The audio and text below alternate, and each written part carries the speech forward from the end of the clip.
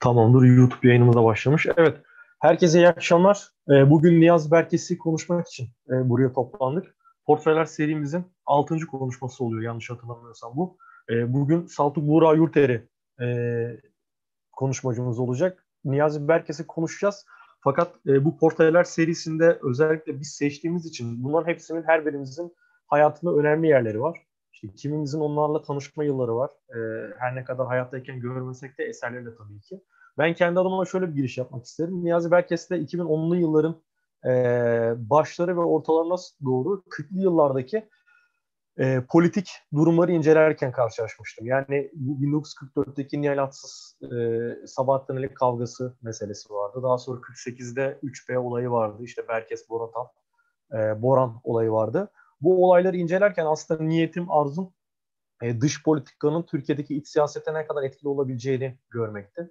E, bu minvalde Niyazi Berkes'in ben bilmiyorum herkes için klasik midir ama Türkiye'de çağdaşlaşması değil de unutulan yıllarını okuyarak Niyazi Berkes'e giriş yapmıştım.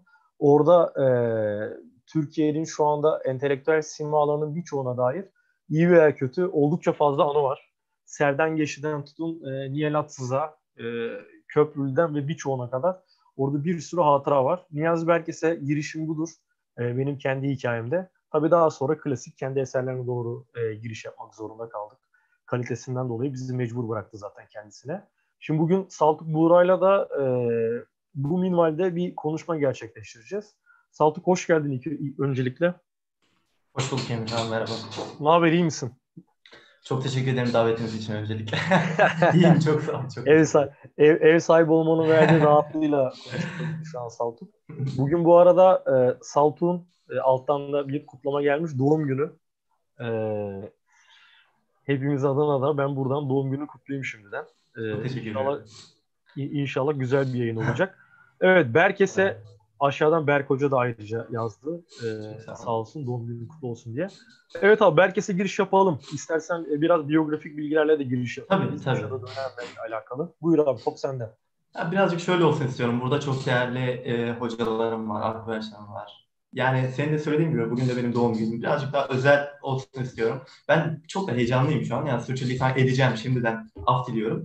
Ee, uygun olanlar varsa, müsait olanlar şu an aslında ben bu yayın için kameralarını açmalarını rica ediyorum. Çünkü yüzlerini görmek, tepkilerini görmek benim için iyi olacak. Uygun olan arkadaşlarım yüzlerini açarsa ben çok mutlu olurum.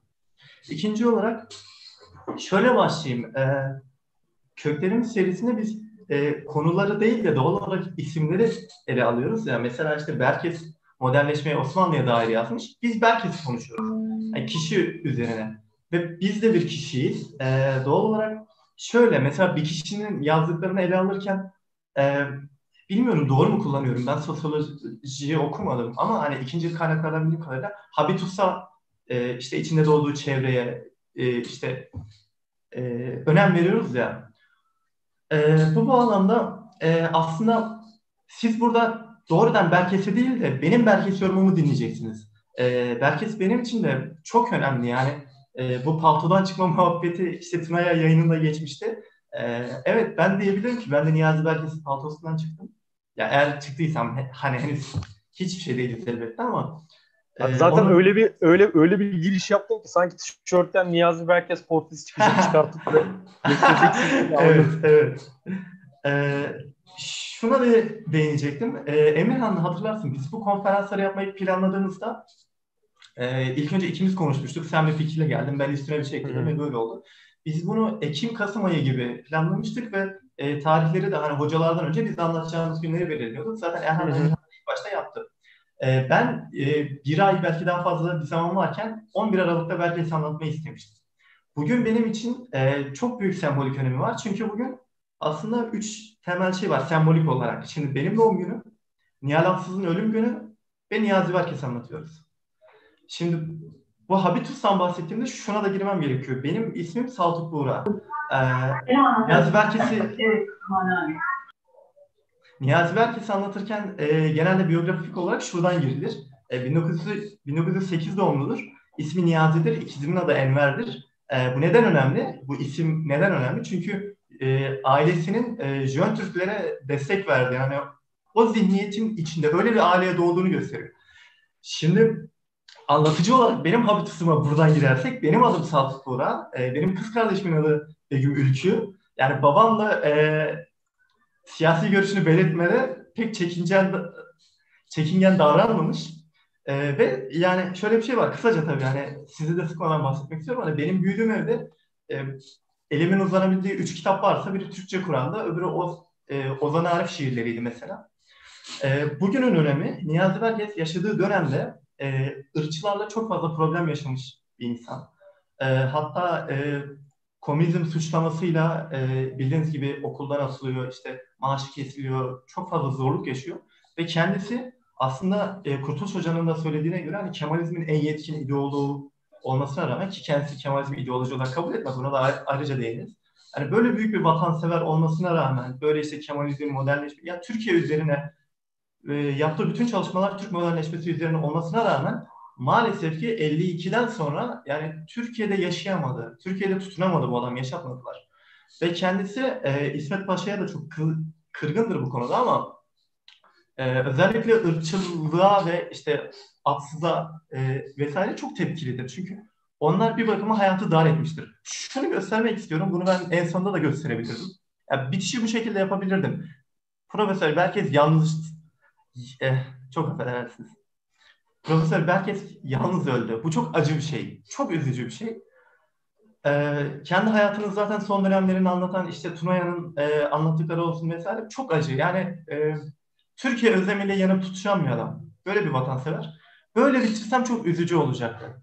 Ben bunu başta söylüyorum ve şuna gelmek istiyorum. Ben diyorum ki bugün Nihan Atsız'ın öldüğü günde ülkücü aileden çıkmış Saltuk Burak isimli bir çocuk Niyazi Berkes yayın yapıyorsa bugün aslında gerçekten ölen Nihan Atsız'dır onun fikirleri de en azından benim için, bizim için öyle. Ve bizi takip edenlere de hani bunu e, sembolik olarak anlatmak istiyorum. Ve yaşayan, gerçekten canlı olan Niyazi Berkes'tir. E, biz burada elbette ki taraf tutuyoruz ve elbette ki yani e, modern olandan, demokrat olandan, ilerici olandan, insanlar bir şey katabilecek olandan. Yani e, herhangi bir işte ırkçılığı, ya zaten ırkçılık yapmayın demek çok affedersiniz, çok affedersiniz hocam ama yani başka bir şey aklıma gelmiyor. Herhangi bir insana halıya sıçma demek gibi bir şey artık yani 2020'deyiz. Ee, ırkçılık, ondan sonra Aslı'nın yazılarındaki kadın erkek eşitsizliği, işte e, erkek öğrenciler kadın öğretmenlerden ders alması falan. Öyle bir noktada ben bunu çok önemsiyordum. O yüzden 11 Aralık'ta bunu yapıyoruz. Girişimi böyle yapmış olayım. Arkasından e, isterseniz Berkes biyografisine gelelim. Yavaştan. E, her şeyini anlatamayacağım çünkü dediğim gibi Berkes binlerce sayfa yazmış bir teorisyen yani şey de değil, e, kuru kuru tarih yazmış, kronoloji anlatmış bir insan da değil.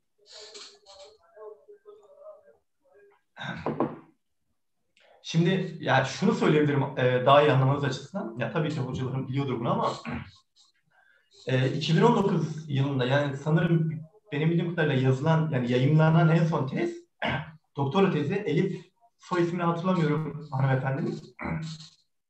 Sadece doktora tezi ve yanlış hatırlamıyorsam 500 küsur sayfa sadece Niyazi Berkes'in batılılaşma görüşü üzerine olan bir tezdi. Yanlış hatırlamıyorsam. Yani düşünün bunun üzerine doktora yapılabiliyor. O yüzden yani iki saatlik belki yani bir buçuk, iki buçuk saatlik bir yayına Niyazi Berkes'in bütün görüşlerini vesaire zaten sığdıramam. Özetleyemem de. Ve ben Niyazi Berkes'i çok içselleştirdiğim için artık bir noktada hangisi benim görüşüm, hangisi Berkes'in görüşü onu bile karıştırıyorum. Bazı noktalarda. Ama elimden geldiği kadarıyla size e, benim önemli gördüğüm yani benim seçme ya benim gözümden Niyazi Berkes'i dinleyeceksiniz. Onu da belirteyim. Zaten Niyazi Berkes'i öğrenmek isteyene e, biz bu yayınları yaparken e, şey istiyorduk hani bizden küçük kardeşlerimiz hani görsün böyle isimler var onlara yönelsin. Amacımız buydu. E, o yüzden yani Berkes'i öğrenmek istiyorsanız istiyorsanız Berkes'i okuyun. Çünkü hani e, ikinci kişi devreye girdiğinde ya her zaman şöyledir. Ortada bir metin var ama bunu ben okuyayım, benim ikizim okusun, Emirhan okusun. Herkes farklı bir yorum e, e, yapacaktır, farklı bir yerin altını çizecektir ve yani sabit olan tek şey kronolojilerdir. Yani tarih şey değildir işte e, işte şu tarihte şu savaş oldu, şu tarihte şu anlaşma imzalandı. Yani esas önemli olan yorum olduğu için, yorumda e, bugünle geçmiş arasında sürekli bir diyalog olduğu için aslında tarih sürekli yenilenir. Yani yoksa geçmişte ölmüş, bitmiş, artık bugüne etkisi olmayan, önemli olmayan şeyleri dinlemek tarih değildir. Bu antikacılık olur. O yüzden e, bugün 2020'de işte Saltuk Buğra'nın sol Kemalist işte ülkücü aileden gelmiş sol Kemalist olmuş bir çocuğun gözünden Niyazi Berkes'i dinleyeceksiniz diyebiliyoruz. Şimdi e, çok da heyecanlıyım. İlla ki unuttuğum şeyler olacaktır. E, Emirhan aklına gelen şeyleri burada, sen de eklersin veya sorarsın. Burada burada şey alıntısını kullanacak mıydın bilmiyorum da sen de orada bir nefeslen. Niyazi Berkes'in içinde bulunduğu toplumsal şartlar ve doğduğu tarih açısından aslında onun e, nasıl bir düşünce dünyası ve aslında ben ortalama 10 yıl önce çok böyle basit bir yazı yazmıştım kendi kendime. Her Türk travmasıyla doğar diye. O travmaya dair Niyazi Berkes'in şöyle çok kısa bir alıntısı var. Kurtuluş Savaşı başladığında 11, bittiğinde 14 yaşındaydım. Yaşam, evet. Yaşamda kendime geldiğim yıllar bu 11 ile 14 yaş arasıdır. Bundan ötürü bu dönemin Türkiye'de yaşatım olan kişilerden daha çok etkisi altında kaldım. Yaşamımın bundan sonraki düşün ve duygu yönü bu dönem çizmiştir. Aslında böyle Aynen bir öyle, kesinlikle. E, kırılma içinde doğmuş ve yaşayan bir adam. Kesinlikle o konuya gelecektim. Hatta onun da öncesine gelecektim. Şöyle e, Niyazi Berkes e, bildiğiniz gibi kültüre çok önem veriyor ve kültür farklılıklarını görüp gözlemleyebilen, detaylarına girebilen bir adam. E, mesela işte Türkiye'de Çağdaşlaşmayı okuyorsunuz. Şunu da baştan söyleyeyim. Türkiye'de Çağdaşlaşma kitabı e, bitiş tarihi olarak yani yazıp bittiği tarih olarak e, şeyin Bernard Lewis'in e, modernleşen Türkiye'nin tarihi miydi? Yani işte biliyorsunuz o kitabıyla e, Şerif Mardin'in bu Jön Türkler üzerine yazdığı doktora tezinden önce bitiyor aslında. Bunun da önemi şu, e, ya bu demek ki o zamana kadar böyle e, tek bir kişinin elinden çıkmış Osmanlı tarihi üzerine bu kadar derinlikli bir kitap yok ki zaten o ikisiyle karşılaştırıldığında zaten yine Türkiye'de çağdaşlaşma daha derinlikli kalıyor. Tabii şöyle de bir şey var. Bizim okuduğumuz e, 64'teki İngilizce baskısı değil, e, sonradan ekleme çıkartılma yapılıp değiştirilmiş 73'teki e, Cumhuriyet'in 50. yılına e, ithafen çıkarılmış baskısı.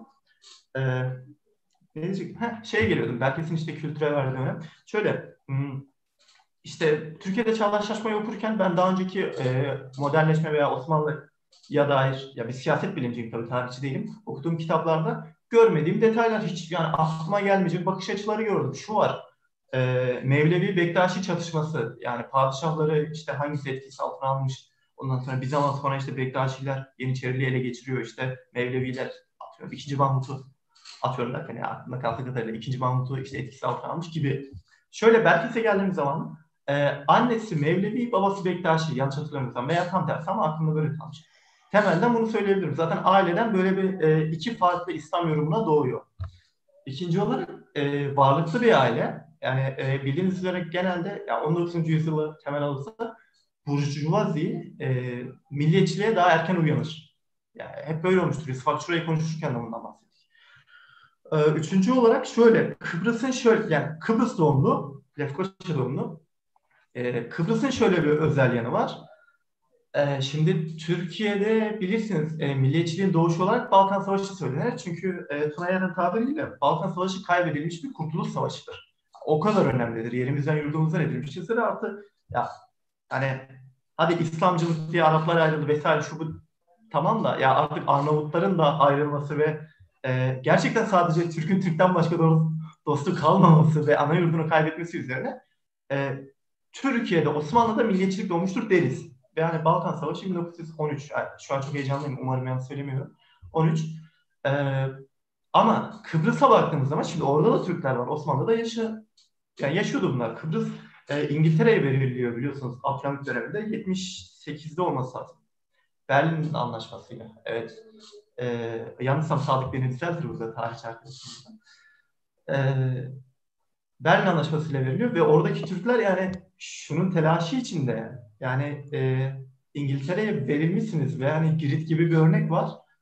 E, yani ana yurdun elden gitme meselesi aslında onlar çok erkenden milliyetçilikle doğal olarak böyle bir tehlike nedeniyle karşılaşıyorlar. İkinci olarak senin de söylediğin gibi Emre şimdi 1908 doğumlu ve işte tam o işte Kurtuluş Savaşı'na 11 ila 14 yaşları geliyor. Ee, orada yani şey diyor e, her akşam işte Yunan marşları duyuyorduk işte evimizin önüne gelip sloganlar atıyorlar vesaire. Yani evin önüne gelip slogan atmak değil tabii onlar orada vali değil de hani anlatmak istedim. Sürekli böyle Yunanların o sevinç çığlıklarını duyuyorlar ve çok rahatsızlar çünkü şunu düşünsene Türkiye'deki Kurtuluş Savaşı kaybedildiği takdirde ya oradaki azınlık Türklere ne olacak? Ve şey de değil yani hani uluslararası hukuk Birleşmiş Milletler var da gelip koruyacak gibi bir şey de yok yani. Kat, yani katledilebilirler veya hani bir ömür boyun eğip hani azınlık olarak da yaşayabilirler. Bunlar çok büyük travmalar.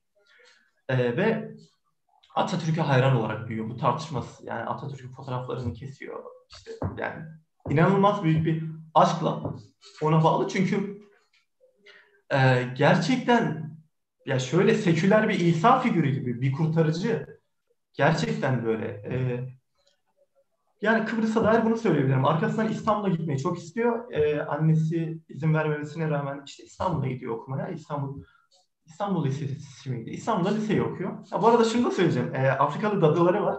Dadıları e, bu ikizler doğduğunda şey diyor. Ahmet Mehmet isimlerini koyalım diyor. Bayağı yaratıcı sağ olsun. Ee, babaları işte şey diyor. Enver ve Niyazi'yi koymayı öneriyor.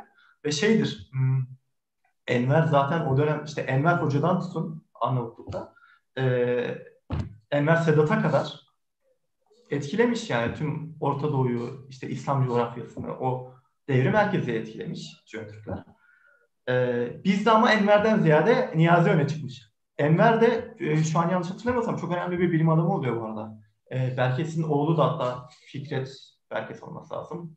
Umarım karıştırmıyorum. O da çok önemli bir bilim adamı. Tabii biz Berkes üzerinden gidiyoruz şimdi. Çok affedersiniz. Bir kaynak açmam gerekiyor şu an. Ee, İstanbul Üniversitesi demiştim. Bir şey atladım mı diye bakıyorum. Çok böyle ufak hani dağılmayayım diye bir çizgi şey yapmıştım ama. E, neyse ben bildiğim yerden gideyim. İstanbul'a gidiyor, liseyi orada okuyor. Ee, üniversitede hukuka giriyor İstanbul'da. Ve kendi söylemiyle şeyi görüyor. Ee, Kemal devriminin o İstanbul'a yerleşmediğini görüyor. Ee, yanlış hatırlamıyorsam zaten şey bu Darülfünun tasfiyesi öncesinde olması lazım. Çünkü anlattıkları yani bana onu hatırlatıyor. Ee, ya Atatürk'e devrimlere falan çok sıcak bakmayan birazcık daha eski kafa o İstanbul-Ankara çekişmesi vardır ya o dönemde İstanbul'a gidiyor ve hoşuna gitmiyor herkesin. Zaten hukuku bırakıp felsefeye geçiyor sonra da. Macit Gökberk'le falan orada tanışıyor. Ve şey e, bu aklımda kalmış. E, keşke buna baksaydım ama bu arada hocası olarak da hem Hilmi Ziya Ülkemiz'den asistan olarak çalışıyor. Bir yerde de ben eski notlarımdan birinde Said Faik'i görmüştüm. Said Faik sınıf arkadaşıydı sanırım. Bu da böyle bir detay yani merak eden varsa ona da bakar. Neyse felsefe okuyor. E, 30'larda ya Berkes bir de hayatında şeye girmiyor. Yani Atatürk yaşarken bile CHP'ye girmiyor. E, şeyde e, Halk Evleri Kütüphanesi'nde falan çalışmasına rağmen aktif olarak böyle siyasetten ziyade birazcık da akademi düşünüyor adam. Zaten devamında da hayatını bunu göreceğiz. İşte Beyce Boran'la paralel okursak oradaki o ayrım. Gerçi Beyce Boran da kendi söylemlerinde şunu söylüyor. Ben ya ben siyasete atılmak istemiyordum. Ben hep akademisyen olmak istiyordum. Benim aşkım oraydı. Ama diyor yani ben e, mücadele etmek istedim. O da partizan. Evet yani. yani daha böyle sosyalizm için mücadele eden. Çok dağınık gidiyorum ama şunu da söyleyeyim. Belki de mesela e, net bir böyle sosyalizm söylemi o kadar da yoktur. Soldadır ama sosyalizm yani Türkiye'nin muhtemel sosyalist geleceğine dair çok bir şey söylemez. Öyle bir devrim söylemi falan da yoktur.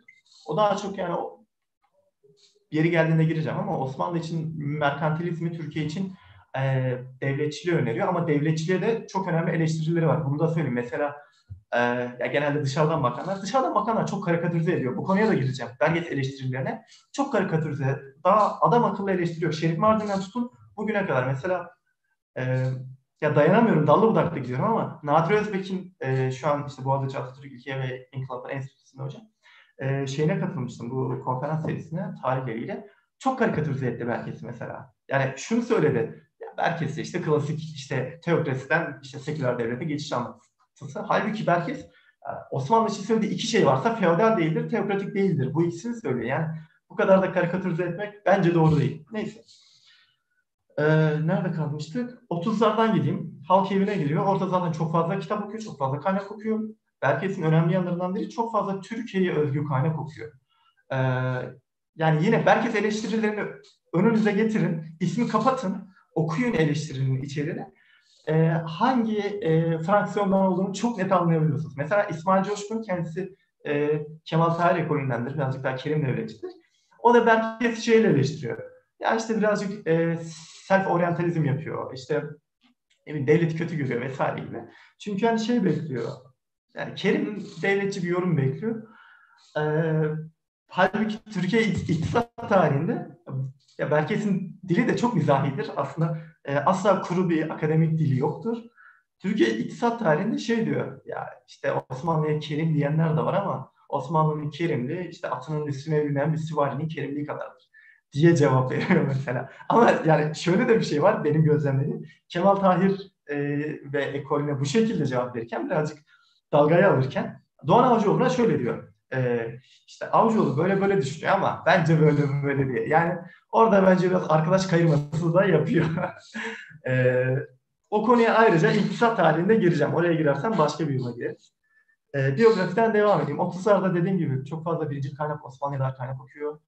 E, zaten Osmanlıca ya doğal olarak doğduğu tarih e, sebebiyle Osmanlıca okuyup yazıyor ve zaten ölene kadar da notlarını da Osmanlıca tutuyor. Hatta yine yeri geldi söyleyeyim. Türkiye'de Çağdaşlaşmanın e, Cumhuriyet'in kuruluşunun 50. yılına e, özel olarak e, Türkçe'ye çevirmek istiyor. Çevirirken çok fazla ekleme değiştirme yapıyor. Onları da anlatacağım. Umarım zamanımız vardır. Ben 5 saat belki anlatırım böyle giderse. Ee, şöyle e, şöyle oluyor. Türkiye'de çağdaşlaşmayı kendisi İngilizceden Türkçe'ye ama e, Arap harflerine yani Osmanlıca'ya çeviriyor. Onu oradan e, gönderiyor buraya. Şimdi hatırlamıyorum. E, yani emeğinin hakkını verememiş olacağım. İsmi hatırlamıyorum ama başka bir isimle Osmanlıcadan Latinize edip Türkiye'de çağdaşlaşmayı ortaya çıkarıyor. Neyse e, 30'larda dediğim gibi kütüphanede. Ondan sonra partiye girmiyor. E, nereye gireyim? Atlayalım şöyle yapalım. E, Amerika'ya gidiyor şeye e, sosyoloji okumaya. Ahmet Kuyaş Hoca mıydı? Doğrudur Ahmet Kuyaş. Ha doğru yayını hazırlayan zaten Ahmet Kuyaş. Çok doğru. Doğru. Kapağında var da hiç aklıma e, Ahmet Kuyaş'ın latinize ettiği gelmemişti. Doğru hocam. E, ne diyordum? İşte şöyle paralel okuyalım. E, Berkes Boran e, aynı zamanda hatta yanlış hatırlamıyorsam aynı üniversiteye doktoraya gidiyorlar. Chicago olması. Sosyolojiye. E, oraya gittiklerinde tabii e, makaleler yazıyorlar, metinler yazıyorlar. Şöyle, e, Boran orada e, sosyoloji teorileri üzerine genel, hani daha evrensel, dünya ile ilgili bir çalışma yaparken Berkes'in yaptığı ilk teori Türkiye'deki sosyoloji tarihi üzerine. Arkasından e, Ziya Gökalp üzerine bir makalesi var. Ee, ve zaten doktora tezine de baktığımızda Berkes'in doktora tezi Türkiye'de çağdaşlaşma. O söylediğim gibi 39'da yazılmaya başlanıp e, 59'a kadar pişiyor, demleniyor. Ki bence çok değişiklik geçiriyor.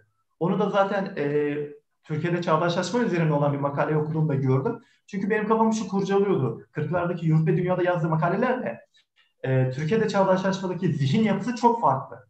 Ama ya 39'da 59 arası yazıldı diyor. Aynı dönem hani aynı dönemde hem bunu hem bunu yazmış olamaz diyorsunuz.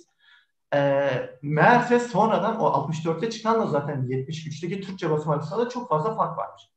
Neyse dediğim gibi burada vurgulamak istediğim şey şuydu. Ee, Boran daha evrensel ve teorikken Niyazi Berkes her zaman Türkiye'yi sorun etmiş. Her zaman problem etmiş. Yani e, ki Kurtuluş Hoca'nın çok güzel bir lafı vardır. E, 60'larda veya öncesinde 40'larda diyebiliriz e, yurt dışına giden Türklerin dahi aklı Türkiye'deyken, Türkiye çalışırken mesela Şerif Mardin'de doktora tezi, işte biz üzere, Jön Türkler üzere veya işte Kemal e, Kemal Karpat hani yurt dışında hocaydı ama ya İngilizce yazıyor belki ama Türkiye yazıyor. Bunun gibi e, 80 sonrasında diyor Türkiye'dekilerin bile aklı yurt dışında. Yani ya şöyle acı bir örnek var. E, benim sosyoloji yüksek lisans bitirmiş arkadaşlarım. E, ya çoğunlukla ya olur ya Ziya Gökalp'ten veya herhangi bir Türk sosyologdan e, Türk sosyologla ilgili bir ödev bir, bir şey istendiğinde bana yazıyorlar ve diyorlar ki ya e, Saltuk sen bunları okuyorsun ama hani biz hiç bunların dersini almadık. İşte Bourdieu'dur vesaire çok gördük ama Türk sosyolojisine dair bir şey anlattık. Yani ben bilmiyorum sen muhtemelen daha çok biliyorsun. Yardımcı olur musun diyorlar. Bu işte 80 sonrası e, eğitimin, akademinin aldığı yönle. Neyse e, bunu söyledik. E, ha bu arada Boran'da Berkes'te kendileri başvurmuyorlar Amerika'ya. E, Boran'ın yerine öğretmeni başvuruyor ki Boran zaten e, okulunu birincilikle bitiriyor. E, Berkes'e de bir yerden bir burs geliyor. Ya bir şekilde kendisi başvurmadığı haline gidiyor. e, ondan sonra e, geri dönmeleri gerekiyor. İşte dönüyorlar. İkisi de e, Ankara e, DTCF'de e, şey yapıyorlar. Ha bu arada e, doktora tezi diyordum. Berkes'in doktora tezi Türkiye'de çağdaşlaşmayken aradaki farkı görmeniz açısından söylüyorum. Bora'nın doktora tezi e, Amerika'daki e, dikey geçişlilik yani şöyle e, şöyle bir söylem vardır ya liberalizmde. Abi çalışan sınıf atlar. Yani sana bu özgürlüğü veriyoruz. Amerikan rüyası bu zaten. Boran diyor ki ya bu böyle değil yani sırf çok da kolay kolay atlanmıyor diyor ve şeyi çok affedersiniz şeyi çalışmaya e, çalışıyor. E, yani atıyorum işte alt sınıfta doğmuş biri e, alt sınıfta doğmuş kaç kişi ortaya geçebilmiş? Yani sınıflar arası hareket nasıldır? Bunu inceliyor. Burada da gördüğümüz gibi Boran daha böyle evrensel e, bir e, şeyken yani Amerika çalışıyor işte e, e, sosyoloji teorileri çalışıyor. Ve herkes Türkiye yazıyor kalkıyor Türkiye çalışıyor. Yurt dışında, yurt içinde her yerde. Bütün yazdığı, herkesin yazdığı Türk modernleşmesine dair olmayan hemen hiçbir yazı yok. Hemen her döneminde. Ha, ama şu var 40'larında e, tarihe o kadar meraklı değilken nispeten e, 50 ve 60 sonrasında özellikle yani neredeyse e, tarihsel sosyoloji diyebileceğimiz bir şeye giriyor artık. E, neyse Türkiye'ye getirdik diyelim belki artık. E, Türkiye'ye getirdik Berkes'i. Ee, Ankara'da işte görev burada, alıyor. Burada burada evet. Saltuk. Burada Saltuk. Ee, şeyden Türkiye'ye getirdin. Ee, bayağı uzun sürdü. Ee, gayet değildi. Ee, taşıdık yani Berkes hakikaten sırtımızda her yere. Şimdi şeye gel- gelmek istiyorum. Yani aslında bu Berkes'in doğduğundaki ortamdan biraz bahsettik ya. Kurtuluş Savaşı ile alakası, Kıbrıs'taki içinde kaldığı durum. Bir de diğer taraftan Berkes'e bir tarih okuma yaparken e, aynı 11 yaşında nasıl Kurtuluş Savaşı devam ederken 40'lı yıllarda, 50'li yıllarda, 60'lı yıllarda hem dünyanın hem de Türkiye'nin içinde olduğu durumlar vardı. Yani mesela unutulan yıllarda şimdi içindekiler kısmına bir daha baktığımda örnek vereyim 47 e, dönemine şey diye adlandırıyor. Şu an alttan tekrardan bakayım şurada. Mesela 1947 yılı yani e, olayların hemen başında kendi atılma süreçlerinin başlangıcında e, orayı demagoji yılları diye adlandırıyor mesela. Şimdi ben de kendi tarihsel okumamda orada bakarken 40'lı yılları araştırdığımızda ortaya ne çıkıyor? İkinci Dünya Savaşı'nda Almanların ve Rusların dünyadaki birbiriyle olan mücadelesine e, göre Türkiye'de bir konumlanma mücadelesi var. İşte 44'te e, at tayfasını ve Türkçü ırkçılık ve Turancılığını yargılanma meselesi var. Daha sonra Marksistler kazandı, komünistler kazandı derken ama 46-47 sonrası da Türkiye'nin tekrardan bir konumlanma mücadelesi var. Bu sefer de e, Amerika'ya doğru gidişi var. Unutulan yıllarda mesela bu süreci 46 sonrasına küçük Amerika olma süreci olarak adlandırıyor mesela Niyazi Berkes. Yani buradan evet. da şuna gelmek istiyorum. Hani o ünlü işte en büyük eseri diye adlandırdığımız Türkiye Çağdaşlaşması, Çağdaşlaşmayı tartıştığı kitabında da e, aslında yine bir şöyle bir tarihi paralellik görüyoruz. O 60'la özellikle 75-77 yılları arasındaki temel e, tartışmalardan birisi hem kalkınma hem de diğer tarafta kalkınmanın batı dışı modernleşmesinin e, nasıl değerlendiriliyor olması. Aynı şey Tarık Zafer Tunay'da da mesela geçen bir programda da konuşmuştuk. 60 yılında sanırım yanlış hatırlamıyorsam onun kitabı basılmıştı. İşte hakeza Niyazi Berkes de 63'te 63 demiştin değil mi? Amerika'da çıkışı. 64 sanırım. 63 ve 64. Ama evet. şey, Türkiye'de 73'te geliyor. Evet, evet. Değil mi? 50. yıllarda çıkıyor. Evet. Böyle baktığımız zaman tarihi bir okuma e, içine girdiğimiz zaman da bir de böyle bir problem var. Yani Türkiye'nin e, 47 sonrası Küçük Amerika olma süreci modernleşmenin de aslında özellikle sol Kemalist aydınlar tarafından bir sıkıntı içine girdiğinin de gözlemlendiği yıllar. Yani bu anlamda da önemli. Şimdi buradan Tabii. sen e, Türkiye'ye de getirdin. Buradan da yine bir bağ da kurabiliriz. Yavaş yavaş şeye doğru da gidelim. Niyazi Berkes'in kendi e, eserlerindeki düşünceleri tabii, tabii, hani bir tematik bir tematik tartışma ona geleceğini biliyorum ama bir tematik tartışma üzerinden de gidebiliriz. Yani Niyazi Berkes'in çağdaşlaşmaya bakışı, sekülerizm kavramı, laiklik meselesi e, o kaldığı Kitaplar yerde... üzerinden gitmeyi planlıyorum bu arada. Tamam. Ya o kal, kaldığın yerde biraz da nefes al diye e, bunları söyledim. Çok Çünkü e, nasıl doğduğu, doğduğundaki tarihsel ortam önemliyse e, Amerika'ya gittiğinde veya dönüşteki tarihsel ortam da önemli. Onu vurgulamak evet. istiyorum. Yani o evet. 40, 44, e, 48 e, ve daha sonra onun geri dönüşü ve Türkiye'de yaşananlar. Bunu da unutmayalım diye söylüyorum. Çok güzel bir pas attım. Bir şey hatırlattı bana. Şunu da söyleyeyim diye düşünüyordum. Ee, şöyle oluyor yanlış hatırlamıyorsam 44'te 3 Mayıs'ta işte Türkçülük Turancılık davası var. İşte işte Türkiye'nin e, o 2. Dünya Savaşı'ndaki e, pozisyon almasına göre bir dönem Turancılar yargı, yargılandı. Arkasından işte e, solcular antikomünizm abartmasıyla, cadavıyla resmen kovuldu biliyorsun. Yani Türkiye'nin evet. yalpalamaları e, yani devlet uğruna acı çekti birileri ama ya madem konuştuk atsız üzerinden de geldik. Abi 3 Mayıs diye yemin ediyorum artık ağlayıp duruyorlar. Yani girmişler orada 3 gün yatmışlar. Herkes ömrünü dışarıda geçirdi. Ve hala şey e, Kemalizm resmi ideoloji abi şöyle oluyor. Yani Kemalizmin en e, bütünlüklü ideoloğu ya Atatürk'le görüşmüş adam hani bu kadar Türkiye aşığı bir adam ki bu kadar yani modern yani siyasi de değil tehlikeli fikirleri yok düşünceleri yok ve şöyle ya komünizm koşturmasıyla Kanada'ya giden bu adam nereye gidiyor? McGill Üniversitesi İslam Enstitüsü'ne gidiyor. Yani kızıl komünist bir adamı İslam çalışmaları alır mı? Hem de Kanada'da.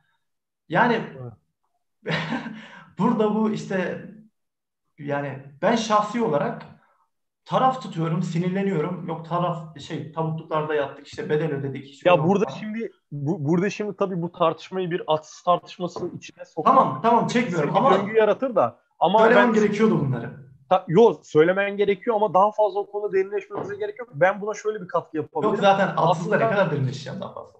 E, aslında aslında devletin konstitusyon alışına bakarsak ben burada e, kamusal alan tartışması üzerine de tartışırsak mesela Türkiye'deki kamu e, ne kadar herkese açık. Ben orada Türkçülere de e, solculara da aynı derecede kapalı olduğunu görüyorum. Yani devletin her dönem Türkiye'de yani atsıza da bakarsan, işte Marksizm suçlamalarına da bakarsan ortalama tavır alışı özellikle tek dö- tek iktidar e, dönemini bitmeden hemen öncesine 48'e kadar bakarsak tek yönetici iktidardır.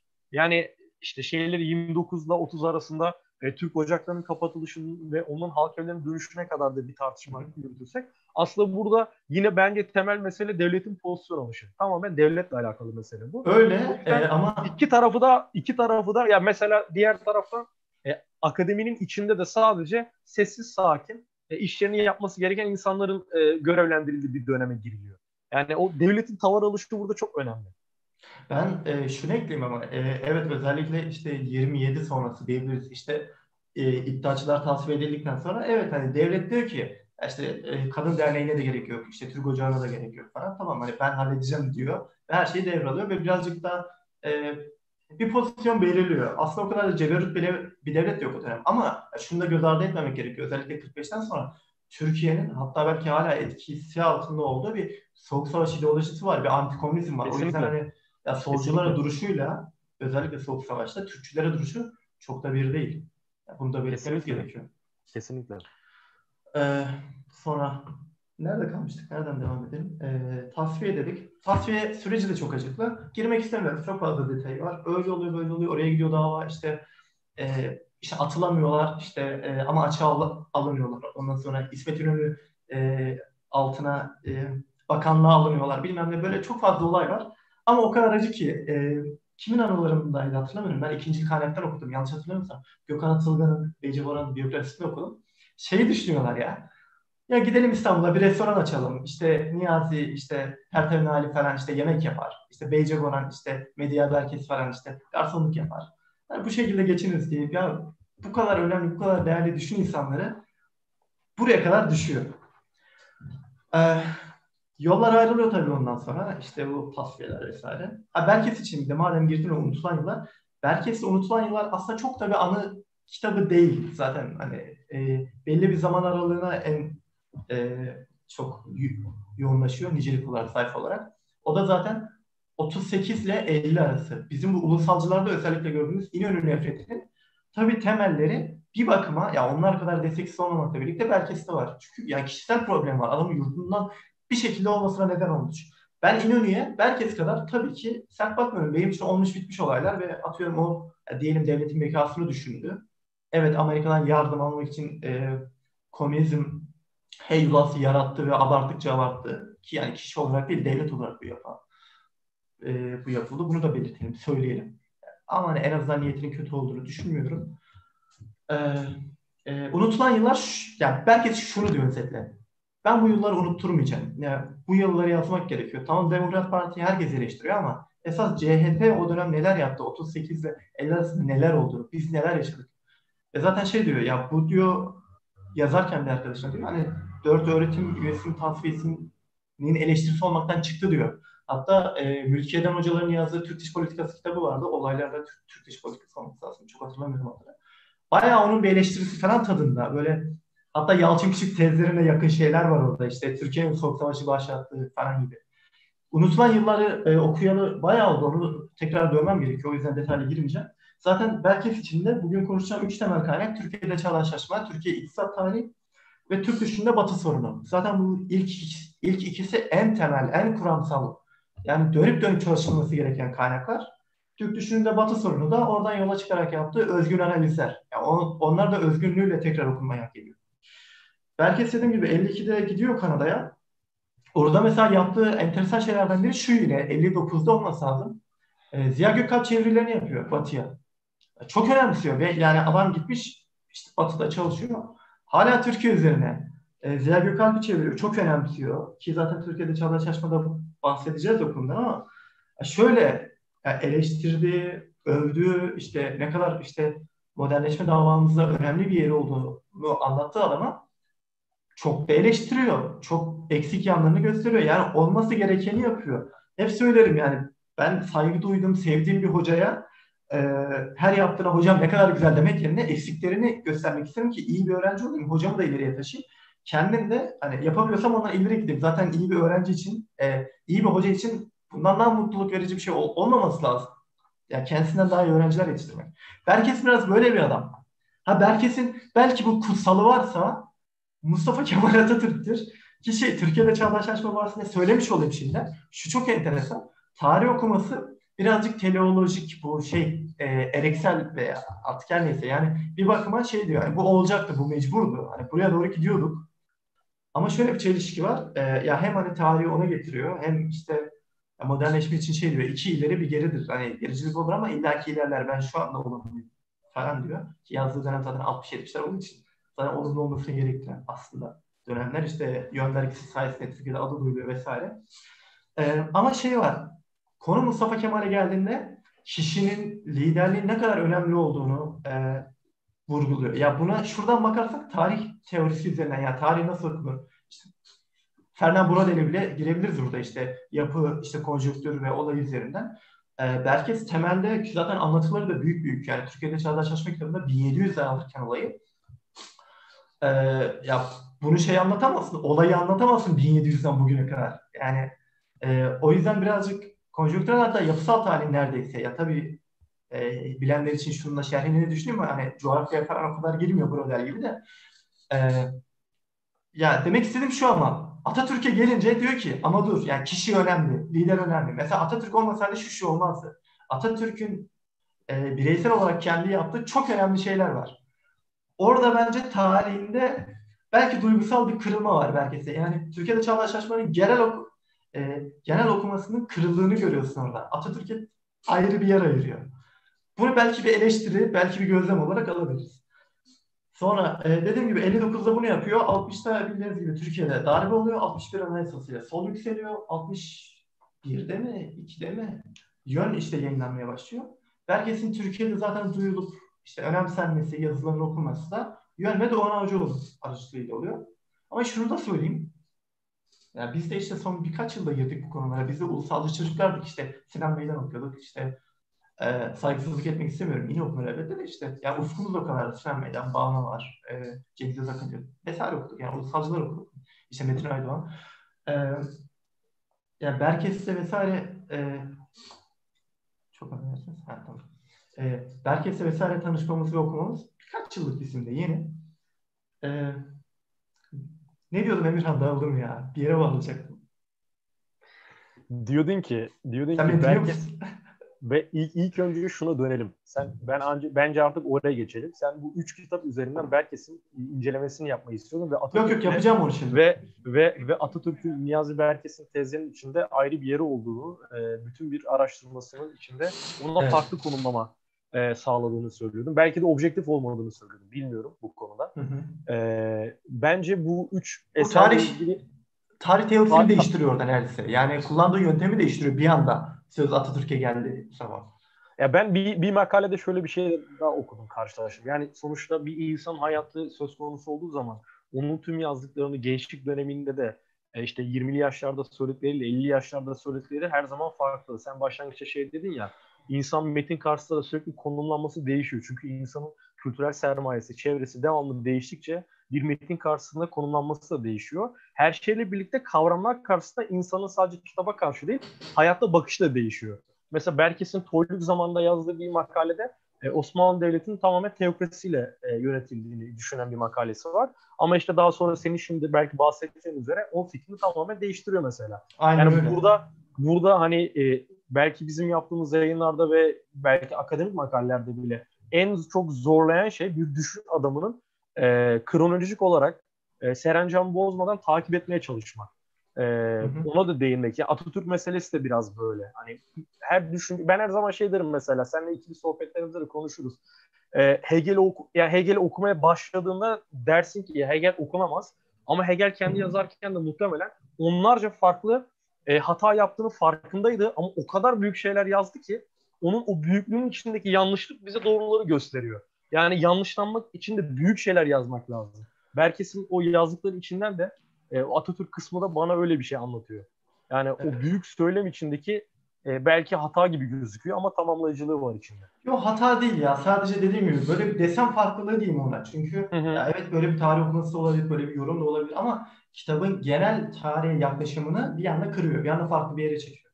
Evet. Ee, bu arada elimin altındaydı. Hazır uzanmışken şunu da şey yapayım. E, Mete Tunca ile Erik Can Zürher, e, benim ismini bir türlü tam telaffuz edemediğim e, post Kemalist diyebileceğimiz e, yazarlar. E, şey, bu e, Osmanlı İmparatorluğu'na sosyalizm ve milliyetçilik kitabı. Bunu her zaman vurguluyorum. E, post Kemalist olmalarına rağmen e, burada ön sözde şunu diyorlar. Cumhuriyet'in ilk 30 yılının tarih yazımcılığı Türkiye Cumhuriyeti deneyimini, yeniliğini ve e, onun önceki dönemin süreksizliğini vurgulamıştır. Ancak 1950'lerden itibaren Tarık Zafer Tunay ve Niyazi Berkes gibi yazarlar öncülüğünde Türk tarihçileri Jön Türk dönemini yeniden keşfettiler. E şimdi kendileri her ne kadar postkemalist olsa da hani irrasyonel düşman insanlar değiller. Sadece farklı bir paradigmadan bakıyorlar.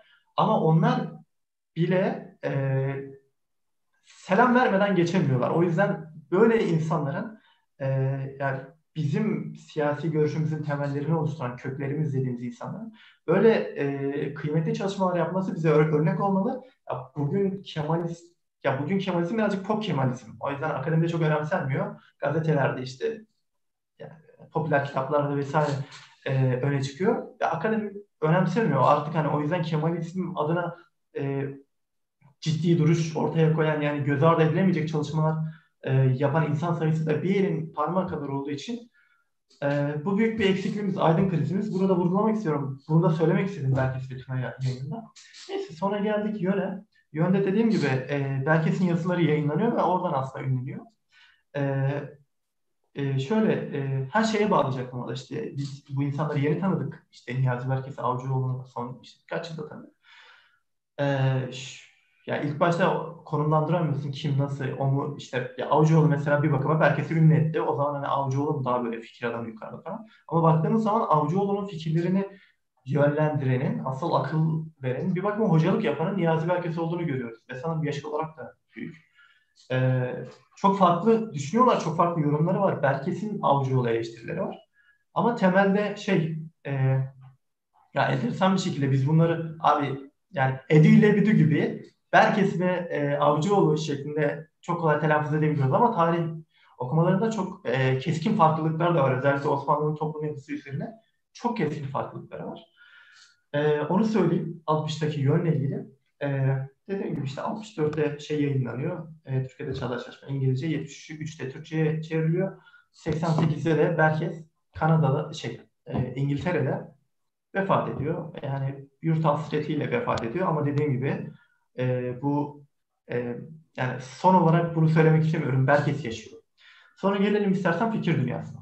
Dediğim gibi ben e, temelde üç kitabını e, en azından bu konuşmada önemseyip e, almak istedim. Türkiye'de Çağdaşlaşma, Türkiye İktisat Tarihi ve Türk Düşünce Batı. Özellikle de ilk ikisi. Ha şöyle çok fazla kitabı var. E, ya makalelerinden oluşuyor öbürleri, derleme. İşte Asya mektupları var. Çoğunlukla yanlış hatırlamıyorsam kardeşinin gönderdiği mektuplar onu hala okumadık bile.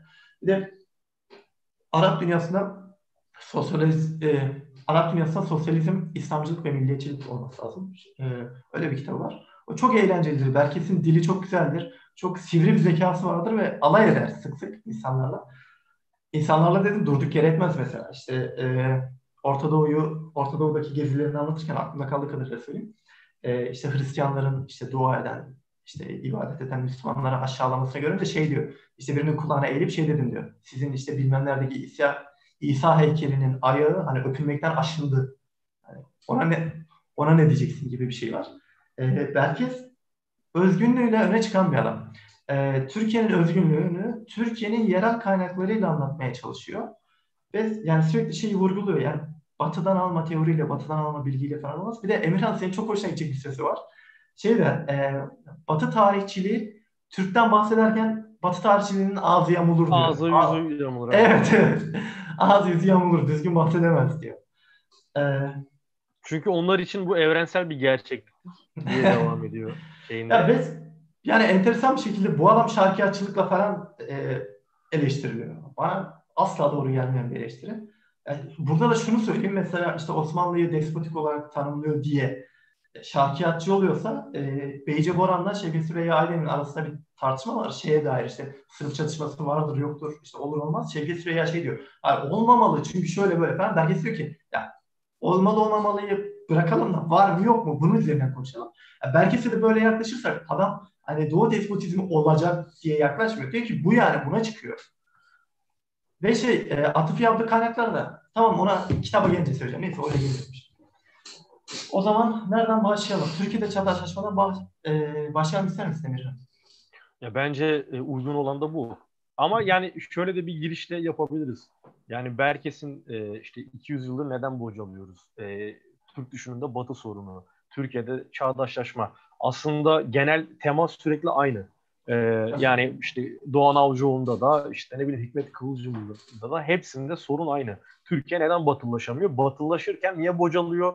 Ee, ve nasıl kalkınabiliriz? Temel problem bu. Ee, Berkes'e de bu minvalde bu tema altında giriş yapabiliriz. Buyur. Aynen öyle. Ee, Türkiye'de çağdaşlaşmadan başlayalım. Türkiye'de çağdaşlaşmayı ben şimdi size olay olay şöyle oldu böyle oldu diye anlatmayacağım elbette. Önemli olan şu ilk okuduğumda fark etmediğim bir şey var. Ki zaten okuyacak olanlara da şunu söyleyeyim. Ağır bir kitap. Ya belki şöyle yapıyor zaten ya o kadar derinlemesin tarih bilen birincilik kaynak okumuş bir adam ki diyor ki atıyorum 1750'deki bir olay anlatıyor. Şöyle şöyle bir olay vardır. Onun için şöyle böyle derler. Böyle bilinir. Ama o aslında böyle böyledir diyor. Sen zaten ilk dediğin versiyonu bile bilmiyorsun. Yani en azından benim yaşıtlarım için öyle. Yani çok ciddi bir tarih, özellikle modernleşme tarihi okuyup onun üzerine belki yorumladığını okumak iyi olur veya birkaç kere okuyacaksınız. Ee, ikinci olarak ya Berkes'in bence yaptığı hatalardan biri bu ki e, William McNeill çok önemli bir dünya tarihçisidir. Yani 20. yüzyılın en önemli tarihçileri. Bilmiyorum çoğu kişinin dikkatini çekmemiş herhalde. Bu biblio, bibliografyalarında da dikkatimi çekmedi. Herhalde görmedim Berkes ama e, Türkiye'de çağdaşlaşma üzerine yazdığı bir eleştiri var William McNeil'in. Kısa bir şey ama şey diyor ya öneminden bahsediyor. E, hem de şey diyor bazen diyor konuyu çok dağıtmış diyor. Çok dallara budaklanmış diyor yani kafasında öyle bir karmaşa, öyle bir şey var ki girdiği yerden çıkamıyor. Böyle dallanıp budaklandırıyor. İşte bir yandan gidiyor Mevlevi Bektaşi çalışmasından, bir yandan başka bir şey.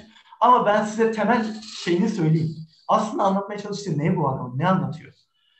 Belges'in temel derdi e, özellikle olgunluk dönemindeki kitaplarında gerek Türkiye İktisat tarihinde zaten iki baba kitabı var diyebiliriz. Türkiye İktisat tarihi ve Türkiye'de Çağdaş Bunlar genelde tarihsel olarak birbirinin ardılı olarak anlatılır. Çünkü Türkiye İktisat tarihi daha da geriden başlıyor. Adı Türkiye olmasına rağmen 19. yüzyılı bile anlatmıyor yani Osmanlı'nın. 18'de falan bitiriyor olması lazım. Zaten Türkiye'de Çağdaş Çalışmalar 550 sayfalık bir kitap. Ee, son 50 sayfasında falan Türkiye Cumhuriyeti'ne geliyor. Ya Berkes'in Türkiye'de anlatacak, ya şunu çok önemsiyor.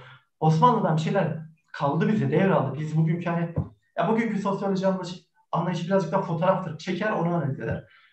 Belki birazcık daha tarihsel sosyolojik geçmişten bir şeyler devraldık ve bugün hani bağımsız bir şekilde hani ortada olan şey değil. Yani bir şeyler geldi ve değişiyor. Onu görmek lazım. Temel derdi bu. İşte he, şey söylüyorum. Tarihsel ardıl olarak anlıyorum ben. Türkiye İktisat Tarihi ve Türkiye'de Çağdaşlaşma. Ancak benim yorumum ki bunu başka bir yerde görmedim. Türkiye İktisat Tarihi altyapıyı anlatırken adı üstünde Türkiye'de Çağdaşlaşma üst yapıdır. Yani bu tarihsel ardıl olmaktan ziyade altyapı üst yapı olarak birbirini tamamlar. Ki bunu destekleyecek bir makale gördüm. Ben 64'teki orijinal metni okumamıştım. Orijinal metinde ekonomik yönler oldukça azken e, 73'te belki bunu birazcık daha çalaken eklemiş. İşte iradıcılıklar vesaire. O yüzden o daha çok bir zihniyet çalışması. Türkiye iktisat tarihi ise altyapı çalışması. Şimdi Türkiye'de çağdaşlaşmanın temel derdi. Baştan sona aslında hangi değişimi, neyi anlatıyor bu adam? Yani biz neyi takip ediyoruz? Bir şeyler oluyor ama şöyle e, çağdaşlaşma yani zaten orijinal adı sekülerizm in Türkiye yani sekülerleşme. Onu çağdaşlaşma olarak Türkçeleştiriyor. Bu da Berkes'in kendine özgü terminolojisiyle alakalı. Ee, çağ, yani laikliği doğru, doğru bulmuyor Türkiye ve İslam toplumları için. Çünkü şey diyor bizde zaten ruhban sınıfı yok, bir kilise yok. Hani bir din devlet, ya şöyle laiklik yaptığında kilise bir yerde duruyor, papa bir yerde duruyor ama devleti karışmıyor. Yani bizde zaten öyle bir şey yok ki diyor. Hani devlet dedi bir arada diyor. Bize sekülerleşme olur diyor. Ee, yani e, bunu ve bu seküler ve bu sek anlatabilirim diyecektim de. Bu bu sekülerleşme meselesinde şey bu sekülerleşme meselesini kullanırken de bu hani ben kendi adıma da yani az önce benden biraz bahsettiğim dediğim bu senin hoşuna gider diye o çağdaşlaşma meselesini incelerken karşımıza hep e, özellikle 60'ta 80 arası kuşakta e, çoğunda hatta ya ona da gitmeye gerek yok. Onur suçlamaya gerek yok. 1908'den beri devam eden bir şey var, algı var. E, din ilerlemeye mani midir? İslam terakkiye mani midir? Sorusu var. Şimdi e, laiklikle ilgili veya sekülerizmle ilgili düşünmesi, düşünülmesinin en büyük nedeni Osmanlı'dan ulus devlete geçildiğinde orada sıyrılan ve tabakası ayrılan bir unsur var İslam. Ama bu hala bir mesele. Şimdi dediğim gibi laiklik meselesini Katolik kilisesi yok, ruhbanlık yok. Türkiye'de olan 200 yıllık modernleşme tarihini bir laikleşme tarihi olarak okumayalım teklifiyle geliyor aslında Niyazi Berkes. Ve sekülerleşmeyi oraya getiriyor. Bunu da senin defalarca vurguladığın evet. gibi e, kutsalın, e, geleneğin üstünün sıyrılması, büyünün bozulması anlamında kullanılıyor. Aynen öyle. Bunu şimdi sen biraz daha evet, buradan evet, devam evet. edebilirsin. E, ama ileride ben tamam. de sorularımda şimdiden söyleyeyim. E, daha önce de sana söylemiştim. E, gelenek ve e, kutsalla ilgili yorumlarım olacak. Ben de buna bir itiraz şerhinde bulunabilirim. Tabii tabii olur. Ee, sağ ol iyi oldu. Birazcık nefes aldım. Kafamda toparladım. Ee, kafamda toparladım dedim. Yine unuttum. Ee, şöyle diyeyim Emran. Ee, evet geleneğin e, işte kutsallaştırılmış geleneğin boyundurundan kurtulma. Çünkü artık e, gelenek diyor e, bir değişim e, tehdidi olduğunda din şemsiyesine e, bürünür diyor. Yani önemli olan geleneksel şeyden kurtulma diyor. Ha bu arada doğru şunu söyleyeyim sana. E, senin aslında esas sevmeyeceğin, esas eleştireceğin Berkes, kırklardaki yurt ve dünyadaki Berkes. E, orada da şöyle bir halim var. E, yurt ve dünyada Berkes'in çok da e, senin tabirinle 19. yüzyıl e, pozitivisti böyle e, işte pozitivist böyle ateizme varan e, diyebilir miyim sana bir sıkıntı olmaz. E, işte Darwin üzerine falan işte mesela kapak yapıyor yurt ve dünya bu çok enteresandır 40'larda yani düşünsene. E, Berkes orada da zaten sosyalizmden ziyade antifaşist e, nispeten antikapitalist falan görüşler öyle çıkıyor. Berkes orada bu kadar din karşıtıyken bu benim dikkatimi çekti zaten. Bir noktadan sonra yani kitaplarında şeyi yazıyor, olgunluk dönemi kitaplarında. E, gelişmeye mani olan din falan değil diyor. Din meselesi değil bu diyor. Gelenek meselesi diyor. Ve bunu anlamak, oturtmak aslında kafanızda yeni bir pencere açıyor. Eleştiriler yine bu yönde işte Berkes aman din şöyle demişti falan yanlış hatırlamıyorsam e, şey çok ilginçtir bu arada. E, şu anki İletişim Bakanımız Fahrettin Altun'un Berkes üzerine makalesi var ve o bile e, şeyi övüyor Berkes hani Şerif Mardin ve Bernard Lewis'e göre çok daha detaylı ve daha önce bir kitap yazdı falan gibi. Ama diyor yanlış hatırlamıyorsam şey ele, eleştirisi orada işte e, din falan filan diyor. Berkes din falan filan demiyor. Yani e, 40'lardaki halinde var o. Sonrasında dini değil geleneği önemsiyor. Şu, bunu anlamak önemli. Yani şu e, 1500'lerdeki 1400'lerdeki insanların zihin dünyası bizim gibi değildi. Şununla başlayayım. Osmanlı zihni, Osmanlı kafası nizam ile ihtilal arasında gidip gelirdi diyor. Ve ihtilal hani olumlu bir anlam değil, bir devrim değil, bir şey değil. Yani ilerleme yoktur onda. İpte yürüyen bir cambaz düşünün. Nizam odur. İhtilal dengenin bozulmasıdır. İşte düzen çöker, işte maaşlar yapmaz, işte savaşlar kaybedilir. Yani ilerlemeci bir tarih görüşü yok. Bir ilerleme, yani tarihi bir ilerleme olarak görmüyorlar. Kutsal bir nizam var. Orada duracağız. Yani biz yani gelişmeler, ilerleme vesaire. Zaten bunun altyapısal temelleri de var. Belki bu arada şey demiyor. Abi zihin böyle olduğu için gelişemedik demiyor. Zaten en önemli eleştirileri de özellikle 19. ve 20. yüzyıl hala devam eden marifçilik ve kanuni esasiyecilik diyor. Biz diyor sorunları anayasa yapacağız. İşte millete okutacağız. Zihinler bir açılsa çözülür gibi görüyoruz. Öyle bir şey yok diyor. Bunun toplumsal temelleri var. Ekonomik temelleri var diyor. Türkiye iktisat tarihi bunun tarihi. Ama zihniyeti anlatırken Türkiye'de çağdaşlaşmada dediğim gibi bunu anlamak çok önemli. Nizam yani gelenek. Çünkü şöyle ideal bir zaman var, mitik bir zaman var, mitsel bir zaman. O zaman da her şey çok güzeldi. Biz o zamanın kurallarına her vakit uyarsak her vakit her şey güzel olur. Görüş bu. Bunun dinle alakası yok. Tamamen geleneksel. Hatta üzerine yaptığım okumalarda Cemil Oktay Hoca'nın e, kendisi siyaset bilimi profesörü e, kitabı olacaktı şurada ama özür dilerim ismini hatırlamıyorum. Şey, siyasi kültür okumaları. Ee, orada mesela o da bunun üzerine gider ve şunu gösterir. E, mitsel zaman ve mitsel mekan. Bu iki temel ortaçağ zihniyetinde çok önemlidir. Bizans'ta da var aynı şey. Mesela İstanbul'da ele alalım. alalım. İstanbul mitsel bir mekandır. Bizans'ta kutsal meleklerin şehri. Bizde de peygamber ayeti vardır mesela işte işte ne kutlu ki şeyi alan işte İstanbul alan padişah bu şekilde bir mitleştirme vardır. Bunun benzeri zaman olarak da var. Bunun dinle alakası olmadığını da şöyle en azından kanıtlayayım, anlatmaya çalışayım. Kendi reklamımı da yapayım. Ben yani Platonik Kemalizm diye yazı yazdım. Orada da bir gelenek var. Seküler bir gelenek var. Yani e, o ulusalcılığın 80 sonrası özellikle en popüler ve en bayat halinde şöyle bir anlatı vardır. 23-38 arasında her şey mükemmeldi. Hiçbir problem yoktu. Biz o zamanın nizamından çıktığımız, ayrıldığımız için bütün problemler başladı. Çözümler o zamanın nizamına dönmek. Atatürk ne yaptıysa aynısını yapacağız. Bugün mesela köy, köy enstitüsü kuracağız. Köyde adam yok, işçi var, olsun önemli değil. Kuracağız yani. Bu işte geleneği kutsallaştırmak. Ya ileriye bakmıyor adam veya bugünün sorunlarına rasyonel bir şekilde neden sonuç içerisinde düşünüp şu olması gerekiyor demiyor. İşte orta çağda özellikle yani köyde bile yeni bir fikir ortaya koymak ne kadar zordur bunu düşünün. Orta çağın dünyasında abi ben rasyonel olarak bu buna böyle bir çözüm buldum. Bunu böyle yapalım demenin ne kadar zor olduğunu düşünün. Her yenilik yani nasıl ki gelenek deyim kılıfına sığınıyorsa her yenilik de bir şekilde geçmişten icazet almak zorundadır. Özellikle mitik zamanda mitselleştirilmiş ortamlar. Öyle olmasa bile o zamana uydurulmak zorundadır. Bunu mesela Nami Kemal'de görüyoruz. Adam demokrasi getirecek, kanun esası getirecek. Aslında yeni bir şey istiyor. Batıcı işte insana önem veren bir şey istiyor. Ama bunu şeriatta buluyor. Diyor ki şeriatı getirelim. Yani çünkü şeriat böyleydi diyor. Hani yaptığı yorum o. Veya hani klasiktir. Abi işte Orta Asya'daki Türklerde feminizm vardı. Veya işte demokrasi vardı. Kurultay yapıyorlardı. Yani şey demiyor adam. Ya 2020'de bugün olması gereken bu yani. Buna atıfa gerek yok. O dönem zaten hani kendi kural demiyor. Bu işte bence hala e, mücadele ettiğimiz bir zihin ve yani insanların çok eminim %95'inde falan bu var. Yani Atatürkçüler işte 38 e, işte 23-38 arası atıf yapmadan birazcık daha seküler Türkçüler, ırkçılar orta sayı atıf yapmadan, İslamcılar asıl sadede atıf yapmadan söz söyleyemiyorlar, konuşamıyorlar. O yüzden Türkiye hala sekülerleşememiştir. Çünkü geleneğin bağından kopamamıştır. Bunu söyleyeyim. Kitabın genel çerçevesi bu. Anlatabildiğini umuyorum. Bunun üzerinden olaylar da geliyor. Ama çok özgün bir adam. Size bakın şöyle bir şey söyleyeceğim. Yanlış olmaması için şuraya kaydetmiştim. Nerede o? Ee, bir saniye bekleteceğim. Şu an bulamadım ama şu. E, şunu söyleyeyim. Herkes Türkiye'de çağdaşlaşmada ya tarih şudur. Olguları alırsın. Farklı farklı olguları. istediğini alırsın. istediğini almazsın. Teorine uyanı. Ya uyanı derken uymayan almamak e, almanızı yetmek değil de işte şunları alacağım dersin. O bağlamda olguları ağlar ve işte teoriyle bağlarsın ya.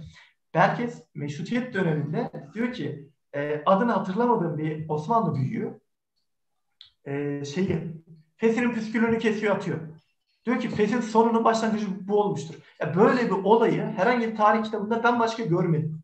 Ya tutup da bunu koymasını Fes, ya 1700'den e, Cumhuriyet dönemine kadar sen bir anlatı kuracaksın.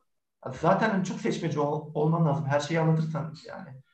E, ya insan boyu kadar kitap olur. Adam şunu koyuyor ya işte bilmem kim efendi fesinin püskülünü kesmiş. Herkesin içinde. Bu şunu gösteriyor. Abi ben gelenekten kopuyorum. Ha, bu arada şöyle bir yorum geldi. Ahmet çok teşekkür ederim. Gelenekten kopmak mümkün müdür meselesine. Çok önemli bir nokta. Şunu vurgulamam gerekiyor. Problem gelenek değil veya bütün geleneklerden kopmak değil. önemli olan gelenekselcilikten kopmak. Yani geleneğe atıf yapmadan yeni bir şey söyleyememek. Geleneğe atıf yapmadan ağzını açamamak. Yani geleneğin bağı bu. Kutsallaştırılmış gelenek bu. Yoksa gelenekte elbette ki aslında gelenekte şudur yani muhafazakarların özellikle e, bir argümanıdır ama bir bakıma doğrudur yani yılların deneyiminden geçtiği için aslında çok fazla te, e, tecrübe edilmiş doğrular vardır. O yüzden bizim hayatımızı kolaylaştırır gelenek. Ya, tabii artık e, yani özellikle sanayi devrimden itibaren şey, heyecandan adını getiremedim de e, yabancı bir iktisatçı vardı. E, Schumpeter. Ya onun dediği gibi artık böyle yıkıcı devrimler çağındayız. Böyle bir şey oluyor ve bütün paradigmayı değiştiriyor. Ve bu artık 10 yılda bir oluyor. O yüzden artık hani gelenekten ziyade yeni kafaya ulaşmak daha önemli. Çünkü geleneği mahvetti bu zıplamalar, tarihsel zıplamalar döneminde olduğumuzu bir bakıma. Bazı yönlerden söyleyebilirim. Türkiye'de çağdaşlaşmayı e, yine detaya girmeden özetlemeye devam edersem üç bölümden oluşuyor. İlk adımlar e, mutlakiyetten meşrutiyete ve şey Cumhuriyet olması lazım. E, ve bunun aslında üç temel e, sembolik insan üzerinden yapıyor diyebilirim yine. İlk bölümde İbrahim Müteferrika'yı çok önemsiyor. Ki yani dediğim gibi bu kadar erken yazılmış bir tarihte e, adam İbrahim Müteferrika'yı önemseyip yazarken ben ondan sonraki çoğu çalışmada yine detaylıca girilmediğini görüyorum. Çünkü ben aslında Berkes'teki teorik çerçevenin bu zenginliği çoğu modernleşme kitabında olmadığını düşünüyorum. Hala şey gibi düşünüyorlar yani oradaki insanlar da hemen hemen bizim gibi aynı zihin ve ekonomik ya ekonomik değil de zihin dünyasına sahipti. İşte sadece atıyorum ne bileyim batıdan onu almak istemedi, bunu almak istemedi. Ya Berkes çok önemli bir zihniyet, bir paradigma koyuyor. Ve onun kırılmasını anlatıyor. O yüzden mesela psikolojik ismi önemli. Birazcık basitleştiriyorlar. Anokronik ya. O dönemin ruhunu yakalayamadıklarını düşünüyorum. Neyse İbrahim Müteferrika ilk dönemin, ilk adamların en önemli ismi. Çünkü diyor olay matbaa değil diyor. Matbaaya indirgediler diyor Müteferrika'yı. Müteferrika e, ilk nizam çok özür nizam alem değil. Nizam-ı cedid diyen adam. Yeni bir düzen gerekiyor. Yani ve bunu askeri bağlamda değil. Yani sadece işte asker olalım yenelim değil. Yani yeni bir ekonomik sistem. Batı'da yeni bir uygarlık doğuyor. Bunu fark eden adam diyor. Ve zaten sonradan da müteferrika üzerine benim ya kolay kolay anlayamadım. Okuduğumda anladım da aklımda kalmayan yok ünitarizmmiş, Hristiyanmış, konulanmış. O yüzden böyleymiş, mahmale edilmiş falan. Derin derin detaylı bir çalışması var bir de makalesi var. Belleten'de yayınlandı sanırım. O da zaten şeyde var. Kitaplarından birinde sanırım Laiklik ve Teodosis'te ama umarım yanlış hatırlamıyorum. Bakarsan sonra öyle bir şey var. İlkinde müteferrika. Oradan devam ediyor. İkincisinde önemsediği alan Namık Kemal. Ama şöyle Namık Kemal de hakkını veriyor. Yerden yere vuruyor demeyeyim ama çok fazla hatası olduğunu söylüyor ve aslında orada kısa geçtiği halde övdüğü ve hem modern ulusçuluğun hem de modern sekülerizmin, laikliğin kökeninde gördüğü adamın yani şinasi olduğunu söylüyor. Şinasi de vardır diyor. Namık Kemal ne Türkçüdür ne laiktir diyor. Şeriat isteyen bir Osmanlıcı. Ama şöyle o dönemin kafasını şeyi de söylüyor. O dönemin insanlarını doğrudan ilerici gerici diye ayıramazsın diyor. Ya şimdi bugünkü gözle şeriat istiyor ama bu da benim tabirimle Namık Kemal şeriat isteyen bir liberal yani liberal bir şeriatçı. Çünkü şey yani bir yandan liberal anayasa yapalım, şunu yapalım, insan hakkı verelim vesaire derken bir yandan bunu şeriatta buluyor olayını. E aslında batılı kavramlarla açıklayamayız. Ben bunu söylemek istiyorum. Çünkü batıdan farklı bir yapı içindeyiz. Berkes'in de zaten temel anlatısı doğu tipi e, devlet yapısından batı tipi devlet yapısına geçiş. Bu üç kitabının da temel mantığı bu. O yüzden batı tipi e, söylemlerle, kavramlarla açıklayamayız doğrudan Osmanlı. Namık Kemal'e yaptığı eleştiri de şu mesela. Abdülhamit rejimini yaratan diyor. Namık Kemal'in getirdiği anayasadır diyor. Hem devletin dini İslam'dır oraya koyuyor diyor. Hem de diyor şeyi koyuyorlar. 113. madde olması lazım. Bu Abdülhamit'in e, işte kafasına göre adam işte sürgün edebilir. Onu koydu diyor. E, bayağı diyor aslında kanun esasıyla Abdülhamit rejimini yarattılar diyor. Yani böyle bir eleştirisi var orada da Şinasi'yi e, överken. Üçüncü kısımda önemsediği alan da Cumhuriyet'te ulusal devrimde Ziya Gökalp. Çok önemsiyor gibi. Çevirisini yapıyor, makalesini yazıyor.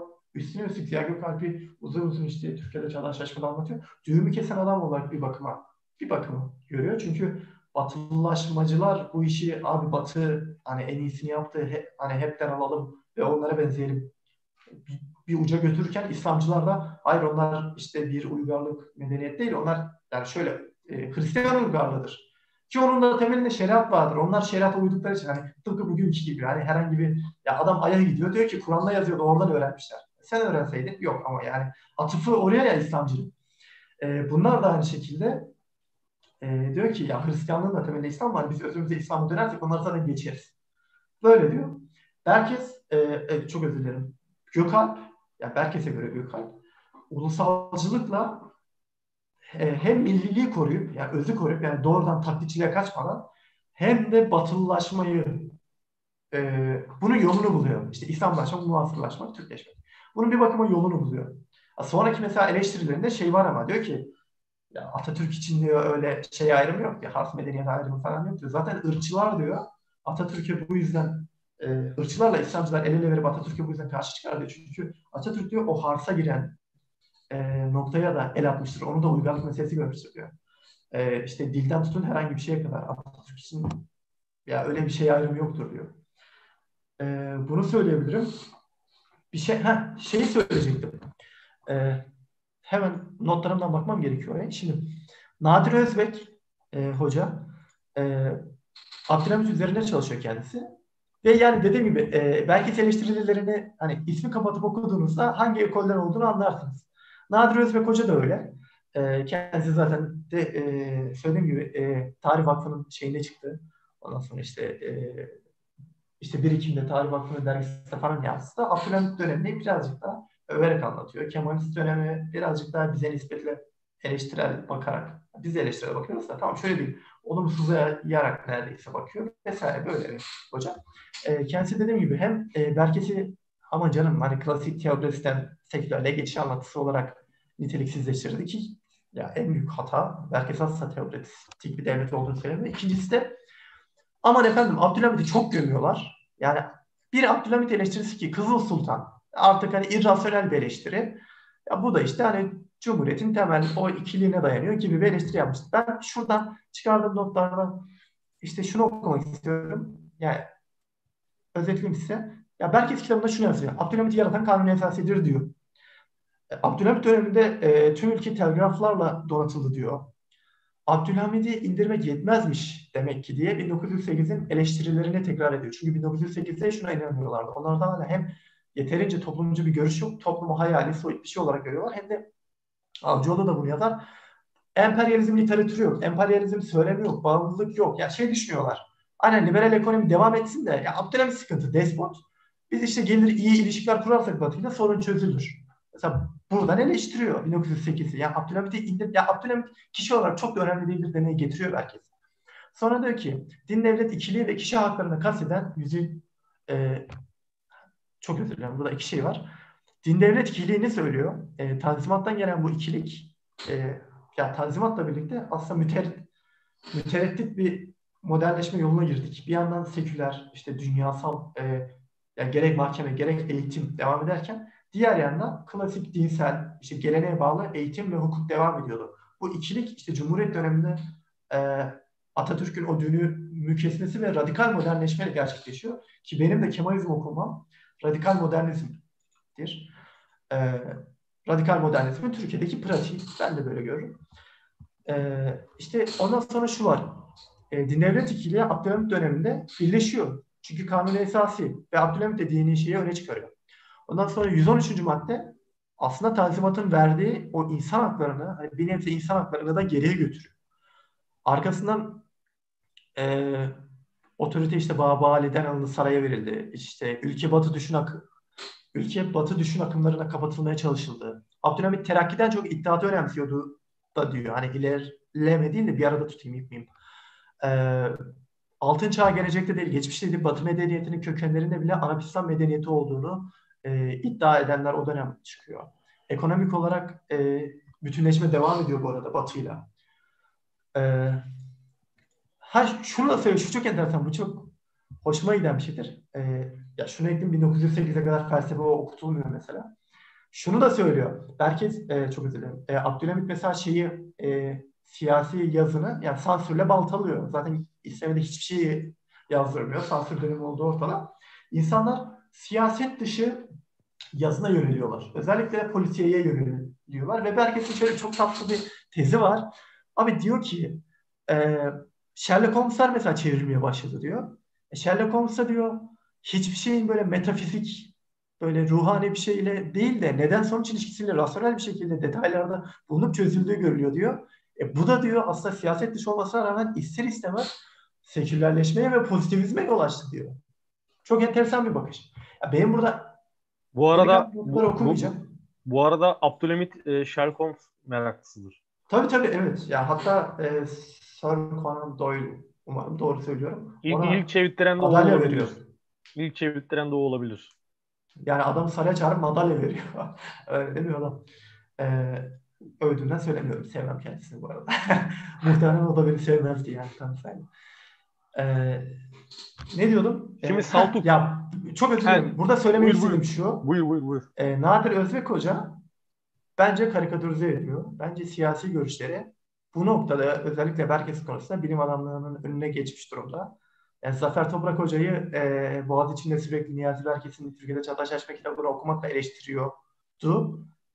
Ben burada Zafer Toprak Hoca'dan yanayım. Bunu da söylemek istiyorum. En azından YouTube'da bir yayın olarak bu eleştiride dursun. Şimdi Şimdi Saltuk. Evet, evet. Saltuk. Bu, bu buraya kadar geldiğimiz yerde e, dinleyiciler açısından da kısa bir özetleme yaparsak aslında yanlışım varsa düzeltirse ekleme yaparsın. Bir, niza, bir nizam alem e, görüşü ve tasavvur içinde olan bir dünya var. Yani nizam alem içinde hem dünyaya nizam ve düzen verme hem de onu o şekilde sabit tutma kavgası ve e, şey var. Meselesi var Osmanlı zihin, zihin dünyasında. İşte ebed müddet. Yani devlet sonsuza dek devam edecek, düzen içinde devam edecek diye bir anlayış var. Ve ondan sonra bir e, kanunu kadim meselesi var. Yani eski kanun, Tanrı kanunu. O orada sabit kalacak e, ve e, işte o Tanrı'dan güç alma ve onun adına insanları yönetme e, ve kutsallığın orada çökmesi durumunda Osmanlı zihin dünyasını anlama şekli var Niyazi Berkes'in. Ve bunun sonunda da yine Tanzimat'a bakarken bir ikili dünya var. Yeni ve eskinin birlikte yaşadığı bir dünya var. Hatta belki e, Türkiye'de çağdaşlaşmayı Türkiye'de çağdaşlaşamamanın e, anlatısında olarak da okuyabiliriz. Başarısız bir sürü orada girişim var. Bunların yani ikileri bir geri görüyor. Evet. O onun da bir e, yansıması olarak ona bakabiliriz. Ben şeye e, buradan bağladıktan sonra Niyazi Berkes'in e, çağ, mesela çağdaşlaşmada diğer mesele şu. O sekülerizmi çağdaşlaşmaya çevirirken mesela modernleşme de kullanmıyor inatla. E, böyle evet. bir tespit de var. Enteresan bir orada bir durum var. E, bir de şu mesele var.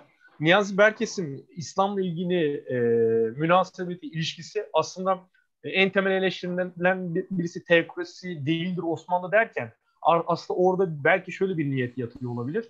Ee, Osmanlı zaten e, İslam'la yönetilmiyordu. Orada bir gelenek meselesi vardı. Bu geleneği oradan eleştirirsek İslam'ı da oradan belki daha az zararla hani hem bir dil açısından hem de bir orada bir kurgu açısından bir orada bir mantık olabilir. Ama bence şöyle bir sıkıntı var orada. E, yani Niyazi Berkes'in Türkiye'de çağdaşlaşmada İslam'a bakışı bana şunu anlatıyor. E, öyle bir İslam yeryüzünde zaten olmadı. Yani e, mesela Osmanlı'nın e, kendi içinde yaptığı işte örfü ve şer'i diye ikiye ayırdığı hukuk dünyasında e, nihayetinde bu bunun İslamiliğini bir selefi okumayla okursak e, yeryüzünde hiçbir devlet İslami değildir. Yani e, İslamiyet'in neresinde diyor, mesela evet. İslam, evet, şey diyor yani. İslamiyet'in neresinde şey... hanedanlık var veya İslam'ın neresinde mevali politikası var Emevilerdeki gibi. Ama böyle bir okumaya tabi tuttuğun andan itibaren geriye şu eleştiri kalıyor. İslam'ın karşısında o geleneksellik vurgusu, Ahmet'in az önce sorduğu mesele gibi onun karşısında İslam'ı çıkarttığın zaman çökmüş o e, gelenek gelenekselleşme muhabbeti kalıyor. Hatta orada bir alıntı var sana katkı olması hasebiyle. Sen de bir nefes al diye bunu yapıyorum şu anda. E, bir toplumda en yüksek sayılan değerler özellikle böyle zamanlar dinsel değerler kılığına girmeye de eğilimlidirler. Din geleneğin en son sığınağı, en son savunma kalesidir aslında toplumun eski yaşayışının kökeninden gelen birçok alışkanlıklar kolaylıkla din gereğiymiş gibi bir nitelik kazanırlar. İşte bunun içindir ki çağdaşlaşma sözünün özü diye devam ediyor. Aslında burada İslam'ı bir İslam meselesi olarak da değil de bir din meselesi olarak e, alıyor ve bunu gelenekle yan yana getiriyor. Fakat sana şöyle bir itirazım var. Buna yanıt verme açısından söylemiyorum. Hani biz seninle tartışırken genelde birbirimizi e, böyle çakmak taşı gibi alevlendirme açısından da yani tartışmayı başka bir yere getirme açısından da söylüyorum. Ee, sen yine anlatımını bozmak da zorunda değilsin. Hani dedik ya e, artık öyle bir dönem gelsin ki e, bir yenilik yaparken o yeniliğin meşruiyetini geçmiş dönemde aramayalım. e, on, onu ara mesela reformlarda bunu aramak zorundasın. Çünkü reform anı artık e, tarihin içinde çok keskin olduğum bir an değildir. Hala oradaki düzenle bağının devam ettiği bir durumdur. Ancak senin söylediğin devrimsel bir anlam mümkündür.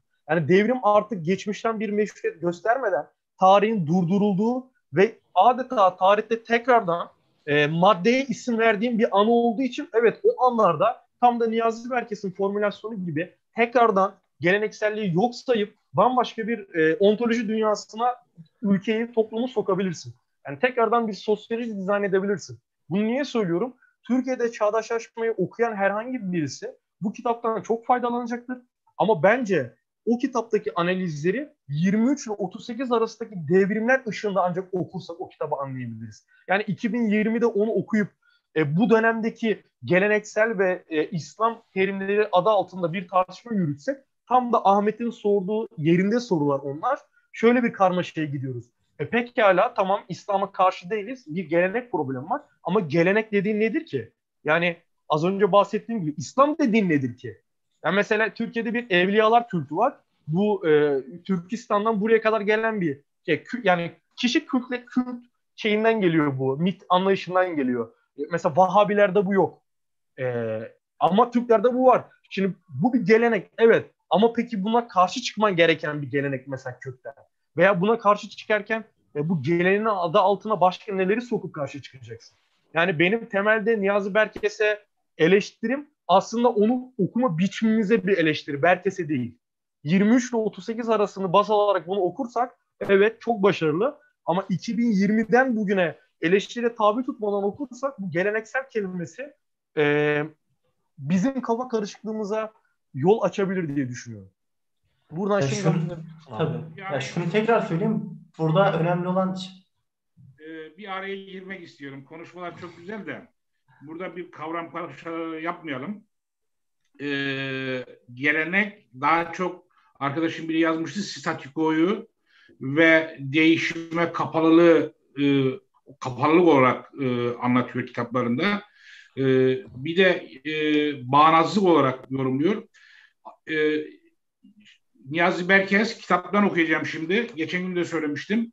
Bendeki e, en son aldığım 20. baskı sayfa hmm, 547'de diyor ki e, devrimin korunması sorunu başlıklı bölümde Atatürk'ün karşısında şeriatçılar değil meşrut, meşrutiyet döneminin Türkçülerini buldu diyor. Atatürk'ün tüm yeniliklerine, devrimlerine karşı çıkan meşrutiyet döneminin yani Osmanlı döneminden kalma, Osmanlılardan sonra kalma e, milliyetçileri yani Türkçüleri buldu diyor. E, burada Niyazi Berkes e, din konusunda e, az önce Emirhan'ın da söylediği gibi daha çok inanç e, temelinde e, yaklaşımı gösteriyor. Bu bir. E, çağdaşlaşma konusunda sekülerizmi ön plana çıkarılıyor. İki. Üçüncü olarak da Atatürkçülüğü Kemalizmi e, Saltu'nun deyimiyle benim de Atatürkçü dediğim gibi dinamizm olarak söylüyor. Yani dinamizm sürekli değişimi, gelişimi ve yenileşmeyi e, bir çeşit e, devrim demiyor da yani çünkü devrim olmuş bitmiş diyor. Gelişim olarak, değişim olarak, dinamizm olarak e, anlatıyor.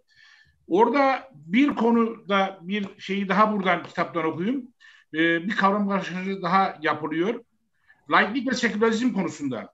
Hı hı. Niyazi Berkes Teokrasi ve Laiklik kitabında sayfa 191 diyor ki çok ilginç ve ilk kez ben burada yakaladım bu e, açıklamayı. Başka hiç kimse de yok. Ha bir şey daha söyleyeyim.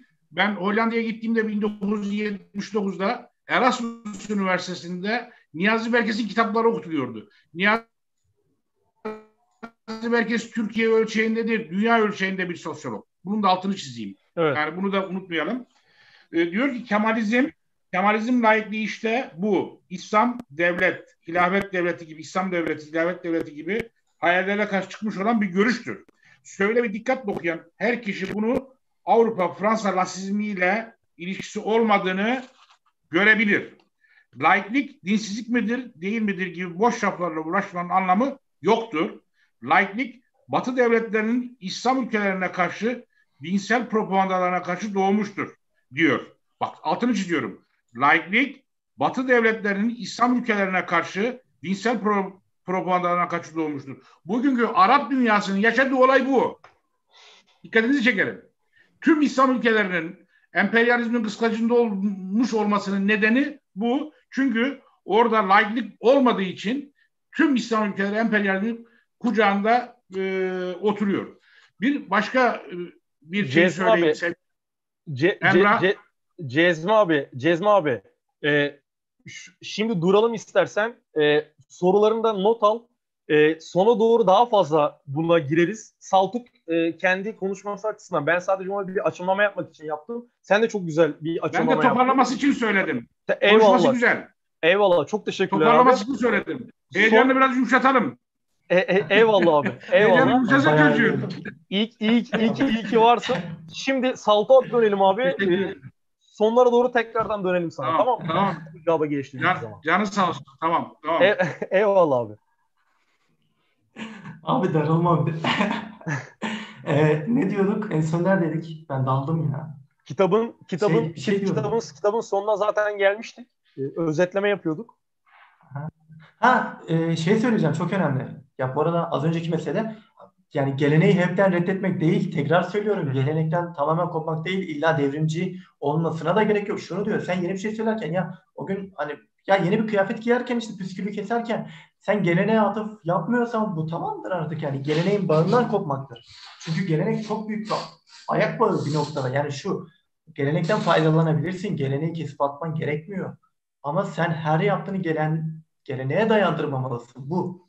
Şunu söyleyecektim onu unutmadan söyleyeyim. İşte kaynakları. Biri Cemil Oktay e, hocanın siyasi kültür okumaları kitabı. Hem onda vardır. Bu mitsel zaman işte mitsel şey e, Bizans'tan Osmanlı'ya devam eden ki ben bunu Platonik Kemalizm'de ta Platon'a kadar götürdüm. Sonraki okumalarımda şey e, Perikles değil şey e, Heraklitos'la ikilemi olan bir işte adam vardı. Her şeyin tamamen durduğunu. Hatta onun öğrencisi vardı. Ha, aynen çok teşekkürler. Parmenides'e kadar götürdüm yani. Her şey duruyor falan. Zenon'un işte paradoksu vardı. İşte ok gitmez, Herkül asla kaplumbağayı yakalayamaz falan. Çünkü durmuş bir dünya tahayyül ediyorlar. İşte bunun bir bakıma nizamı, nizami olan durmuş dünya anlatısı aslında bu. Ben o yüzden oraya kadar götürmüştüm. İkinci olarak e, dinler tarihçisi Emirhan e, bilirsin e, bilmiyorum, Eliade. Aynen. Doğru telaffuz edebilecek miyim diyecektim. E, Mirza Eliade'nin e, kitapları vardır bunun üzerine. Mitsal zaman, mitsal şey. Yani herkesin uydurduğu tamamen işte hiçbir temele dayandığı falan bir şey değil aslında. E, Türkiye'de çağdaş çalışmada bunun ikinci olarak şey var. Bence benim çok önemsediğim. Yine dediğim gibi doktora tezi var üzerine. Ama batılılaşma konusunda batılılaşmaya hem batılılaşmayı savunanlara çok fena eleştirileri var. Batılılaşıyoruz diye işte özünden kopan, toplumdan kopan işte aydınlara, halka, işte burjuvaya çok büyük eleştirileri var. Ama bir yandan batılaşma düşmanı da değil. Herkese batılaşma gerçekten katmanlı bir konu. Ama temelde şunu görüyorsun. Bir bakıma, evet bir bakıma yani şöyle bir yorum görmüştüm. Şu açıdan haklı. Ee, bu şey, Prens Sabahattin şey diyor işte doğu tipi toplumdan batı tipi topluma geçiş doğru. Bunu söylüyor. Sadece bu noktada ortaklar. Ama e şimdi e, onun Adem'in merkeziyetçiliğiyle, onun bireyselciliğiyle, onun işte sadece aydınlanmacı, e, aydınlanmacı derken şöyle e, marifçi diyebileceğim yönüyle herkesin toplumcu, işte e, alt, altyapıya daha fazla önem veren ve özellikle dediğim gibi bireyden ziyade topluma önem veren yapısını bir tutmamak gerekiyor. Çünkü şey yorumlar gördüm. İşte Berkes'in okumasıyla Prens Sabahattin'inki paraleldir. Ya değil sadece bu açıdan paralel. Berkes diyor ki doğu tipi durgun toplumdan gerek altyapısal gerek üst yapısal olarak batı tipi dinamik topluma geçiş batılılaşmadır. Bu tamam. Ama diyor çok önemli bir vurgu. Batılaşma okuması ya bence Kemalizme batılaşmaya Türk tarihine çok sağlıklı bir bakış var. Diyor ki e, batı tipi topluma geçtikten sonra altı oktan biri batılaşma olmamıştır diyor. Devrimcilik olmuştur. Çünkü ya artık tamam biz o motoru aldık. Biz artık ilerleme odaklıyız. Artık bizim için batı bir erek değil. Oraya ulaşmaya çalışmıyoruz. Biz kendimiz oluyoruz. Kend, yani önemli olan ilerlemek şeklinde. Ve Berkes'e şeye eleştirisi falan vardı. Daha bugün okudum. Ee, sosyalizm işte literatürü çevrildiğinde vesaire falan şey diyor. Ee, abi iyi güzel de diyor. Asıl Türkiye'de bunu oturması için diyor. İşte Marx'ı şunu bunu okuyup yöntemi anlayıp sonra bizim kendi içimizden kendi toplumumuza yönelik yaptığımız bir eleştiri bir tarih okuması, bir analiz lazım. Oradan çıkar diyor bizim için sosyalizm. Yani batıdan alıp getirmeyle olmaz. Ki yine 40'lardaki bu ki benim de önemsediğim bu Hasan Ali Yücel öncülüğünde çıkan hümanizm e, e, anlayışı çerçevesinde bu e, antik metinlerin, antik Yunan, antik Roma metinlerinin çevrilmesine herkes çok önemsemez. Herkesin kitaplarındaki atıf İbn Haldun'adır, Katip Çelebi'yedir. Yani böyledir, Cevdet Paşa'yadır. Bunlardan gider herkes. Ama işte elit Kemalist falan, falan gibi gözüktüğü için yani çok böyle dışarıdan karikatürize edenler adı üstünde karikatürize ediyorlar. Türkiye'de çağdaş açmaya o zaman size kısaca böyle bitirmiş olayım ama çok önemli bir zihniyet meselesi var orada dediğim gibi. Bence hala devam eden, bence hala e, Kemalistlerin özellikle ulusalcı kanadından var olan abi 23-38'e dönsek her şey mükemmeldi diyen bunun üzerine, bu tez üzerine kitaplar çıkıyor şu an. Ama işte e, bu sol Kemalistleri okuduğumuz zaman ister Avcıoğlu'nu ki farklı okumasına rağmen ister Berkes'i okuduğumuz zaman Berkes'e çok temel devletçilik eleştirisi vardır. Bu Türk düşünüründe Batı sorunundaki başlıklardan biri şu. Devletçilik neden başarısız oldu? Yani diyor ki devletçiliğin bir gözü şaşıydı. Yani e, tarımı önemsemedi. Yani tamam sanayileşiyorduk ama ya, ya bir bakıma sanayileşmeye çalıştık ama ikinci olarak toplumsal yapıyı değiştirmeye, devrime, o altyapısal devrime giremedi. Ya bu yüzden şey olması beklenemez diyor. Zaten başarılı olması beklenemez. Şey de güzel. Diyor ki işte devletçilik şaşıydı. E, Menderes dönemi hepten kördü diyor. Kör bir liberalizm diyor. O şekilde geçmeye çalıştı. Neyse e, Türkiye iktisat tarihine geleyim. Şunu söylemek istiyorum. Türkiye iktisat tarihi bence bu benim yorumum yine. Ya elbette ki yani böyle şeyleri bu şekilde çocukça kıyaslamaya gerek yok ama ben de gencim çocuk sayılırım. Şöyle benim için Türkiye'de çağdaşlaşmadan daha değerli, daha temel, daha böyle kafa açan bir kitap. Ben e, hoca olursam olduğum takdirde eğer hani e, dersimle de alakası varsa bunun ilk 125 sayfasını derste okuturum. Yani ders şey olarak veririm. Burada Osmanlı Devleti'nin toplum yapısını, sınıflarını o kadar güzel, o kadar sistematik bir şekilde anlatıyor ki Türkiye'de çağdaşlaşmada bu sistematik yok. Çok dağınık gidiyor herkes. Yani öyle bir eleştiri yapılabilir ama bu çok temel. Buradaki anlatı da şu. Bu tam işte feodal midir Osmanlı, Atatürk müdür, işte Kerim devlet midir bu tartışma üzerine Doğu tipi despotizm diyor. Ve hiç öyle Karl Witthogel'a işte Karl Marx'a vesaire gitmek yerine ki o da çok enteresandır. Belki mesela Marx'tan çok Weber atfı vardır. Bu kitapta mesela patrimonyalizm tabirini kullanıyor. Yani sektör Marksistler o kadar korkuyor ki Weber'e girmeye veya farklı bir şey söylemek. Bir saniye burada mı kendisi? Ee, demin görmüştüm ama şu an göremiyorum. Belki çıkmış olabilir. Ee, Berkesen hocam işte e, kendisi şu an neopatrimonyalizm dedi diye aman Allah'ım kıyametler koptu yani. Ya doğrudur yanlıştır fark etmez de ya sektör Marksizm pek sevmiyor böyle şey e, tabirleri teorileştirmeleri falan böyle farklı bir şey söyleme. Yani illa böyle temel Marksist şeylerle gideceksin. E şimdi e, ha evet buradaymış hocam. E, ya ben bunu mesela Wall, e, Wallenstein'da da görüyorum. Doğru mu telaffuz ediyorum? Muhtemelen edemiyorum ama Wallerstein'de de görüyorum. Onda da şey var. Weber'le Marx'ı e, bir şekilde e, şey edip, sentezleyip çok yeni bir e, sosyalizm teorisine çıkıyor. Ya bunlar zenginliktir, fikri zenginliktir. Bu bağlamda e, Berkes'e de bu var. Weber'e gidiyor, Marx'a gidiyor. E, bir şey daha söyleyecektim Berkes'in şu şeyle ilgili. Ha şey, e, şöyle bir yorum gördüm. Üzerine çalışmadığım için yeterince bilmiyorum. Ben söylemiyorum bunu. O yüzden aktarayım Kurtuluş Hoca'dan şey söylüyor. Bu Frankfurt Okulu'nu bilirsiniz kült, e, kültüre de önem veren ama işte soldur sosyalisttir.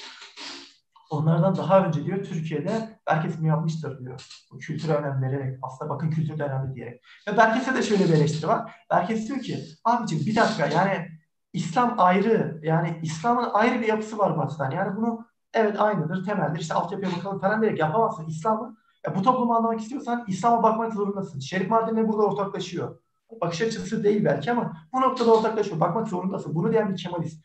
Ve ya çok yazık adama şunu söyletiyorlar. Adam diyor ki ya ben bunu dediğim zaman diyor sanki ben böyle İslam'ı savunuyormuşum gibi oluyordu. Ha, ya, hayır abicim diyor. Bu bir savunma veya bir övgü bir şey değil diyor.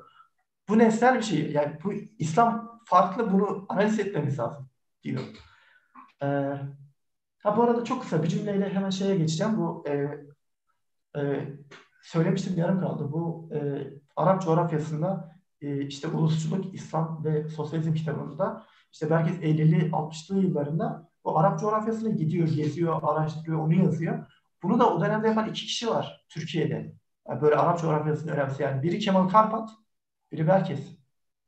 Yani o açıdan da özgün bana. Ha, ikinci olarak da çok kısa gene. Dağıta dağıta gidiyorum ama yani belki çok okumuşum, doğmuşum. Burada da arkadaşlarım, hocalarım, sevgili arkadaşlarım var. Hazır kaptırmışken anlatıyorum. Kemal Karpat'ın e, şey kitabı var, Portreler. Böyle işte tanıştı, muhabbet ettiği insanları bir iki sayfayla anlatıyor. Niyazi Berkes de var orada. Niyazi Berkes'le maalesef ki tanışamamış. E, başlık da şeydi galiba. Kendi düşüncesinden olmayan kimseyle görüşmeyen aydın gibi bir şeydi. Böyle bir yazmış, görüşmek istemiş falan. Berkes umursamamış, cevap vermemiş. Yani en azından Kemal Karpat'ın kendi açısından anlattığı şey bu. Onun kitabında da böyle geçiyor. Sonra Türkiye iktisat tarihi diyorlar. Buradaki anlatı şu. Şeye girmiyor. İşte Fransa'dan işte Atatürk'ü aldım. işte Mars'a Atatürk'ü aldım. Yok işte Cevher Devlet, işte Kerim Devlet vesaire değil. Biraz İbn Haldun'u çok önemsiyor tarih okuması bakımından. Bir şey değil mi? Buna ayrı yayın yapılır. Hatta ileride yapalım en iyisi. En iyisi Osmanlı işte toplum yapı tartışmaları ve Berkes özelinde bir yayın yapalım. Çünkü girsem çıkamayacağım kadar. Hem ta- tartışmalar hem Berkes'in söyledikleri. Ama şunu söyleyeceğim temelde. İbn Haldun'un tarih okumasını e, despotik devletler özelinde çok doğru buluyor. Osmanlı'yı da despotik devlet olarak görüyor. Berkes için bir tane devlet yok. İşte ticaret devletleri var, despotik devletler var. Bir yerden sonra batı tipi kapitalist devletler var. Yani devlet tipleri farklı. E, despotik devlet şöyle, bunu şeyde de okumuştum. E, Alaaddin Şener'in o insanlık tarihinde de geçiyor. E, Berkes bu kadar derin girmiyor nasıl kurulduğuna dair de şöyle savaşçı bir, bir kabile geliyor, yerleşik bir e, işte ülkenin herhangi bir işte siyasi yapının üstüne konuyor. O askerler oraya oturuyor ve böyle yağmalayıp yok etmek yerine oturup vergi alıyorlar, yönetici oluyorlar orada. Ve artık bunların derdi sınıf katmanlarını olduğu gibi tutmak, sabit kalmak, bir değişmeyi, sınıflar arası geçişi, yeni bir toplumsal düzenin niteliksel bir sıçramayı önlemek. Çünkü ya haraç yiyorlar orada. İki şeyden kazanıyor temelde. Bir işte düzensiz vergiler, e, gidip işte feth, e, fethederek işte bir yerlere, e, oradan işte yani kahrederek diyeceğim. Bu arada kahretmek üzerine işte Bordeaux, Mouse üzerine 17 e, Aralık'ta Oğuz Adanır hocamız gelip konuşacak. O da Berkes'in bu özgün teorilerinden çıkıp bakın hala işte 2020'deyiz. Çok özgün ve Osmanlı okuması yapıyor ve şey diyor, yani Berkes dönemi hala anlaşılamadı. Onun da elinde e, Berkes ölmeden önce ve öldükten hemen sonra yapılan e, çekilen bir belgesel var. Hem e, Kıbrıs'ta Türkler Sempozyumunda çektiği hem İngiltere'de e, bir öğrenci aracılığıyla eşiyle işte görüşüp çektiği misali hiçbir yerde yayınlanmadı. Kendisi onu onu soracağız. Alabilirsek de çok iyi olur. Buradan bunu söyleyeyim. E, Türkiye iktisat tarihinde özetle, çok özetle belki yerel kaynaklara ve İbn Haldun'a dayanarak diyor ki Osmanlı kapitalizme geçemez. Çünkü anlattığım gibi siyasi bir elit, askeri bir elit geldi çöktü, çöreklendi toplumun üstüne ve toplumla bağı yok. Toplumun altına yetişmedi. Toplum ona aslında böyle hani kendi yüreğinden çıkartmadı. O aslında meşru, meşruiyeti ilk başta vermedi. Zaten hani verecek durumu da yoktu. Verip vermeme durumu da yoktu. Geldi ve çöreklendi. O yüzden diyor ki bu devletin kerimliği işte e, atın üstündeki bir süvarinin kerimliği kadardır. Neredeyse Cenerit devlet tezine geliyor ki o da İdris Küçükömer'e yakın. İdris Küçükömer'le Niyazi Berke siyasi olarak şöyledir tarih okumaları. Onlardan çıkan işte ekoller vesaire. Ama baktığın zaman Osmanlı'ya temel. Ama aralarındaki fark İdris Küçükömer oradan Türkiye'ye doğru bir devamlılık görürken herkes Kurtuluş Savaşı'nda bir kırılma görüyor.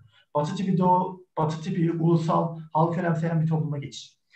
Ee, burada dediğim gibi temel tez Türkiye kapitalistleşemezdi ki bu Doğan Avcıoğlu'na da karşı tez. Ee, Doğan Avcıoğlu kendisi şunu savunuyor. E, Türkiye gayet kapitalistleşebilir de emperyalizm yüzünden geri kaldı. Halbuki belki diyor ki hayır bunun içsel sebepleri var. Nasıl ki Türkiye'de çağdaşlaşmada anlattığım üzere üst yapı durağansa, gelenek hani e, yenilik kolay kolay kabul edilmiyorsa altyapı, onun altyapısı Türkiye iktisat tarihi. Dediğim gibi detaya girsem hem sıkılabilirsiniz. Çok Yok, uzun Saltuk. oldu yani. Saltuk. Ee, daha ekleyeceğin şeyler var mı? Devam edecek misin? Ben 5 saat daha belki konuşurum. Hayır. E, önemli olan sıkmamak, dinletmek kendimizi. Konuşabiliriz. Tabii tabii o yüzden ben de yani. Da, e, daha devam et. Ya bir 5 dakikada devam edebilirsin. E, bir 5 dakikada 23 10'a kadar devam edelim. Ondan sonra 20 dakikada soru cevap yapalım. Faslı bitirelim. Olur tamam. Yani eğer istiyorsan. Bu arada şeyden falan da bahsedebiliriz arada. Ee, Ömer Ömer Atagenç de burada herhalde hoca. Yanlış hatırlamıyorsam e, Fay Kirby, e, Niyaz Berkes'in eşi ve hala köy enstitüleriyle ilgili bir kitap e, arıyorsak hala okuduğumuz ilk eserlerden birisi. E, çevirmeni de yanlış hatırlamıyorsam Niyazi Berkes. O anlamda da enteresan böyle bir durum var yani. Eşi de köy enstitüleri üzerine çalışmış birisi. Öyle. 30'larda da e, çok özür çok özür dilerim. 40'larda da Beyce Bora'nın ve e, Berkez'in köy çalışmaları var. Sen şeyden Aslında ona girilebilirdi. Sen Mesela şeyden çok fazla şey var. bahsetmedin. Şu kitapta da Niyazi Berkes'e dair işte portre Tabii tabii Kurtuluş Hoca'nın e, öbür kitaplarında da var. Bir tek onda yok. Ve ayrıca Kemalizm cildindeki Niyazi Berkes e, bölümünü de Kurtuluş Hoca yazdı. Kurtuluş Hoca üzerinde ayrı bölüm yapılabilir. Kurtuluş Hoca şeye bayılıyor. Türkiye üzerine özgün bir şeyler söyleyen, özellikle buradan beslenen. Yani artık yerli ve milli kelimesi o kadar kirlendi ki bazı ağızlarda. Ama gerçekten böyle yerli ve milli hani dışarıdan aldığı teoriyi doğrudan hani buraya oturtmaya çalışmayan insanları çok seviyor. O açıdan çok Evet. önemli bir insan. E, kendisi sağ olsun. E, o da belki çok önemli bir insan. Neyse Türkiye iktisat tarihinde dediğim gibi detaya girmek istemiyorum. Bir yandan da çok heyecanlıyım. Anlatacak çok fazla şey var. Ama dediğim gibi temel tezi şu. Türkiye despotik bir toplumdur. İbni Halduncu aslında işte e, toplumlar daha doğrusu toplum değil devlet doğar. İşte e, daha doğrusu şöyle asabiye kavramı üzerinden e, asabiyesi güçlü olan bir işte şey işte öbür ülkeleri fetheder işte doğar sonra gelişir bir yerde durgunluğa girer sonra ölür. Osmanlı diyor ölemedi. Son kısmı tamamlayamadı. Bozuk düzene geçti. Çünkü dünya diyor artık eskisi gibi fetihli, e, fetih değil de bu akınların olduğu bir yer değildi. Artık ticaretin yani kapitalizmin olduğu, ekonomik temel şeyin daha önemli oldu. Yani topraktan vergi almak önemli olduğuna gidiyordum fethediyordum vergi alıyordum. Ama artık ya toprak alıp vergi almak değil olay. Üretmek olay ya. Öyle bir şeyde Osmanlı ölemedi. Ve bozuk bir düzende kaldı. Bunu anlatıyor. Ee, sonra neye? Ekleyecek çok fazla şey var da merak ettiğim bir şey varsa sen söyle ben o sırada düşüneyim. Yok şimdi zaten e, ortalama temalar üzerinde konuştuğumuzda yani bu üç kitap ve Niyazi Berkes'i baştan bugüne tartıştığımızda e, en büyük meselelerden birisi e, geleneksellikten kurtulup çağdaşlaşmaya doğru devam eden bir tarih okuması var. Tam da senin söylediğin gibi zaten, Tekrar söylüyorum. zaten öyle olması gereken bir süreci e, böyle bir tarih süreci öyle okuyor. Böyle olması gereken bir süreç olarak okuyor. Yani ulus devlete doğru yol alan bir süreç olarak okuyor. Hatta yani o belki 60'larda bunu söylüyor ama işte daha önce Yusuf Akçur yayını falan da yaptık. Ee, dönemin bazı aydınlarında da zaten bu tema var. Yani o işin içinde Türkçülük girdiği andan itibaren zaten Osmanlı'nın çökmesi gerektiğine dair ilk söyleyenlerden biri. İşte Yusuf Akçur'a 1904'te bunu söylemiş. Yani Niyazi Berkes'in o anlamda da bir doğrulanması var. Evet yani Osman dediğin gibi ölemiyordu ve onu öldürecek bir insan lazımdı. Evet. Ee, Mus- Mustafa Kemal'in de zaten tarihi rolü o Gordiyon düğümünü belki en keskin şekilde kesmesiydi. Aynen öyle. Hep En radikal, en radikal halkasıydı. Son olarak belki şundan bahsedebiliriz. Belki yani kendi kafamda kurduğum düzende 23.08 ile 23.10 e, batılılaşma batılılaşma ile ilgili yani Gökalp'i tutarken aslında kendi zaten şöyle bir teori yapıyor. Hani ona göre iki batı var ya bir e, modern ve medeni kültürel olarak batı var. Bir de emperyalist, bir de emperyalist olarak emperyalist. Aslında Türk Kurtuluş Savaşı e, eninde sonunda aydınlanmanın e, neredeyse tahakkümle evrenselleştirildiği bir dünyada önümüzde iki yol vardı. Ya bekleyip ölerek, işgal edilerek modernleşecektik ya da batıya rağmen modernleşecektik. Yani hem onları yenecektik ama hem de modernleşmek zorundaydık. Yani Hemen aslında mi? burada bu bir şey mi söyleyeceksin? Evet. Aslında buyur şey buyur sen, sen devam et. Sen devam et Tamam. ama çok kısa bak. Artık bir dakika Batılaşma- gibi söyleyeyim. Tamam. Ya bir dakika falan sürmez bu da. Şunu söyleyeceğim. Batılaşma kısmı çok çok önemli ve derin. Ve zaten e, şey diyorlar.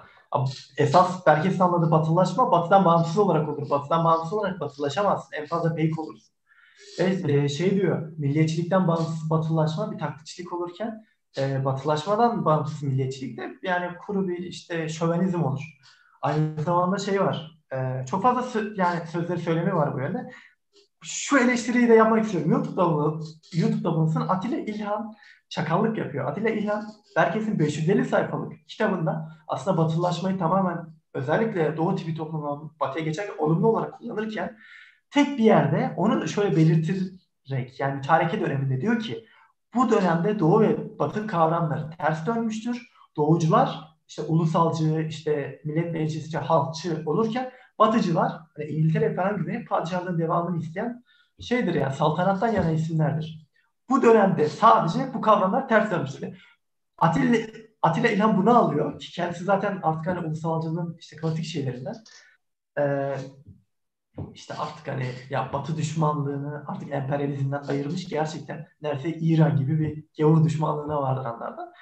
böyle bir aslında kendine göre uyarlıyor. Bir tek orasını almış, kırmış. Yani ayet e, ayıklama mı der? E, şey cımbızlamış yani. Bu eleştiriyi de yapmak istiyorum. Batılaşma konusu derin belkesin ya. Yani eğer bitireceksek veya soru cevaba geçeceksek geçelim. Çünkü benim e, anlatacak çok şeyim var. Ama bir şey daha eklemek istiyorum unutmadan. Sen söyledin ya işte İslam, Osmanlı. Osmanlı'ya bakışı da çok enteresan. Zaten hep de enteresan ama şöyle bir tanımı var. Osmanlı İslam Ortodoks ittifakıdır diyor. Osmanlı e, çünkü şey e, Ortodoksluğun ekümenik e, şeyini de tanıyor ve aslında güçlendirmeye çalışıyor. Hatta bir bakıma Ortodoksluk yaşamasını Fatih Sultan Mehmet'e borçludur falan gibi tezler var. Yani ne kadar doğrudur yanlıştır ayrıdır ama Osmanlı'yı böyle görüyor. Yani Ortodoks bir yer olduğunu da görüyor. Böyle yorumluyor. İstersen soru cevabı Tamamdır. Tamamdır. Şimdi artık şimdi artık soru cevap kısmına geçelim. Ee, Aa Kemalizm ve ideoloji meselesi çok önemli. Evet doğru söylüyorsun. Şimdi e, şimdi en başlangıçta Ahmet'in zaten soruları vardı. Onları e, tartışma içinde de bir anlamda zaten erittik. E, ya ekleyeceğin herhangi bir şey var mı ya da Ahmet tekrardan bir soru iletmek ister misin? E, bunları tekrarlamak ister misin? Eğer sesim geliyorsa Ahmet yanıt verebilirsin mikrofonla veya yazarak. Ya da Ahmet yayında mı? Evet Ahmet yayında. Ahmet Şahin kardeşimiz. Ahmet'e de buradan gerçekten çok selam olsun. Çok sevdiğim bir kardeşimdir evet, arkadaşım. Kıymetli bir adamdır. Kendisi kendisi Çelebi isimli bir e, dergi çıkartıyor. Merhabalar. E, çok çok da güzel konu başlıkları oluyor. İlgisini de iletelim. Buyur Ahmet. Ee, kıymetli Hazırına e, saygılarımı iletiyorum. Saltuk Bey'e de verdiği bilgilerden dolayı teşekkür ediyorum. Estağfurullah kardeşim. Benim e, konunun başından beri merak ettiğim mevzulardan bir tanesi şu bu gelenek e, meselesiyle alakalı. Şimdi herhangi bir e, olayın e, peydah olmasından bahsediyorum. Yani bir olay e, bir menşeden gelir diye düşünüyorum. Yani bir olayın gelenekten tam manasıyla kopmuş bir şekilde meydana gelmesi mümkün mü? Atıyorum mesela e, bir de şu var. Ben e, tarih bölümü son sınıf öğrencisiyim. Şunu fark ettim. Özellikle Osmanlı kuruluşunda e, işte Karam Osmanlıların e, Karamanlılarla Karaman e, Karamanoğullarla ilişkisi vesairede hep bir işte mesela e, onun bir meşrulaştırmak için meşru bir zemine getirmek için Oğuz Atay'a dayandırma meselesi var. Mesela bu e, yani aslında her bir varlık dünyada e, kendisini meşru bir şeye getirmek için bir yere dayandırma meselesine gidiyor. Tam manasıyla gelenekten kopmuş bir hareket ya da bir e, fikir e, olması mümkün mü? Yani bunları göz önünde bulundurarak. Ben bunu çok merak ediyorum. Teşekkür ediyorum. Ahmet eyvallah. Çok teşekkürler katkı için. Buyur Saltuk. Ben teşekkür ederim ama çok iyi oldu sesini duymak bugün. Biri çok sevdim. Çok sağ ol geldiğin için. Ee, şöyle, ya evet bugün de aslında bir fikri, bir yenilik, e, özellikle kitleselleştirmek için kabullenilmiş bir meşruiyet aracına ki o da aslında gelenektir. Dayanmak çok önemli. Ki Türkiye'nin temel iki meşruiyet aracı vardır. Biri dindir, biri Atatürk'tür. Ya birine ya birine. Yani AK Parti bile işte, e, o ne e, şey kalkışma oluyor. Hemen diyor ki işte Atatürk'ler asıyor, hakimiyet milletindir falan. Niye? Çünkü meşruiyet aracı, birleştirici bir şey.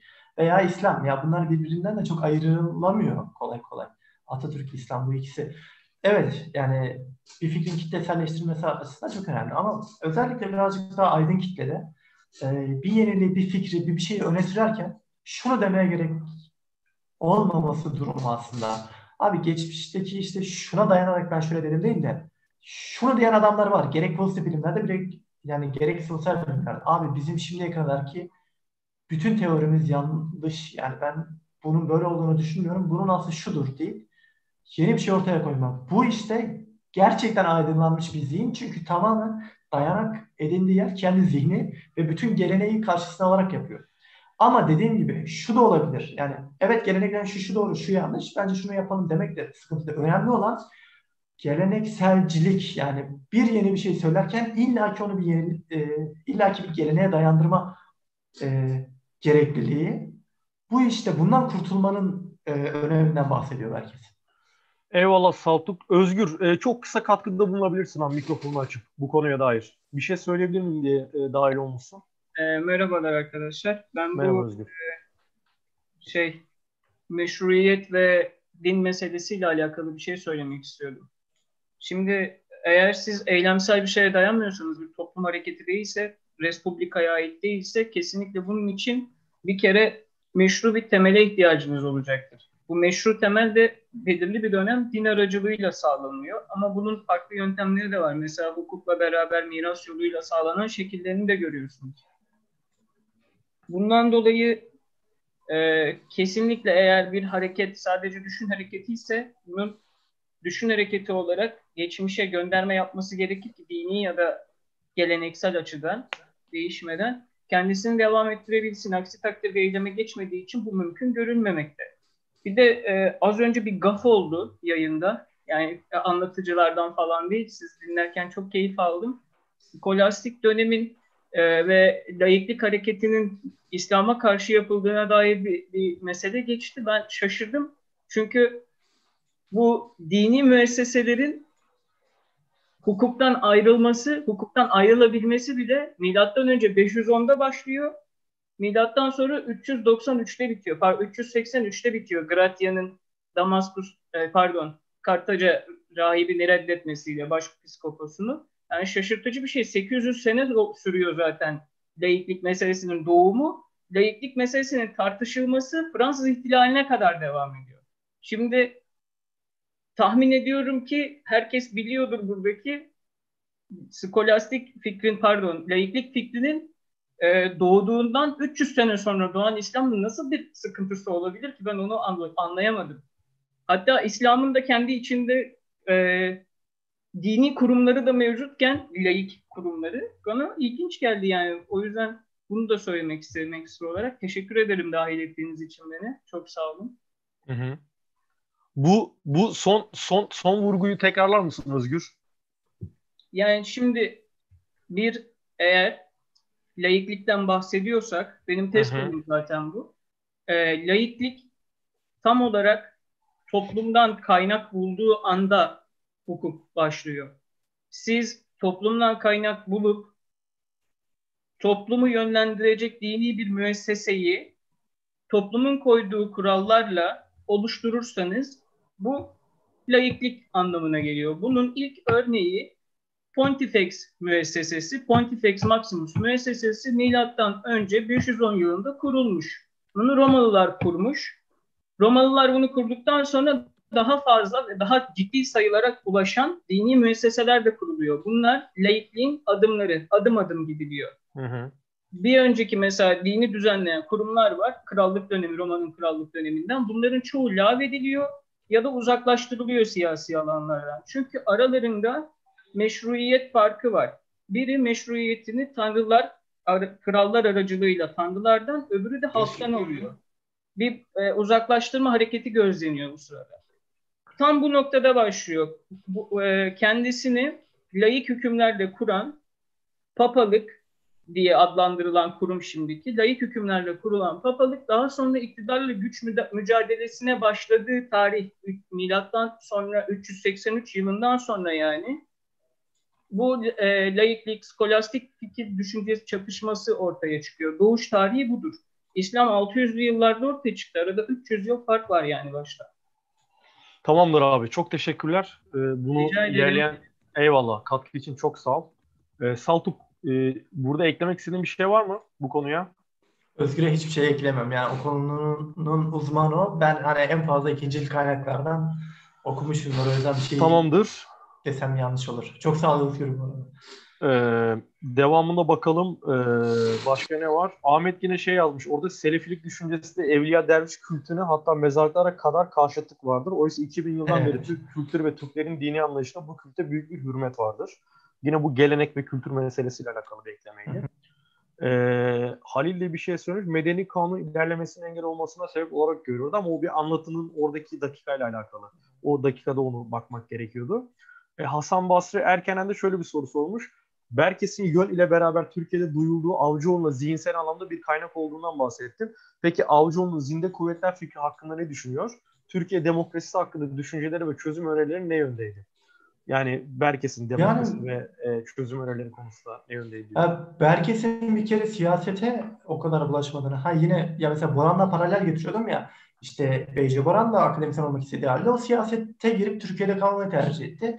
Berkes ise akademisyen olup yurt dışında işte üretmeye devam etmek istedi ki ikisi de Türk siyasetine oldukça önemli etkiler yaptı nihayetinde. Biri yazarak biri etki şey işte aktif siyasete girerek.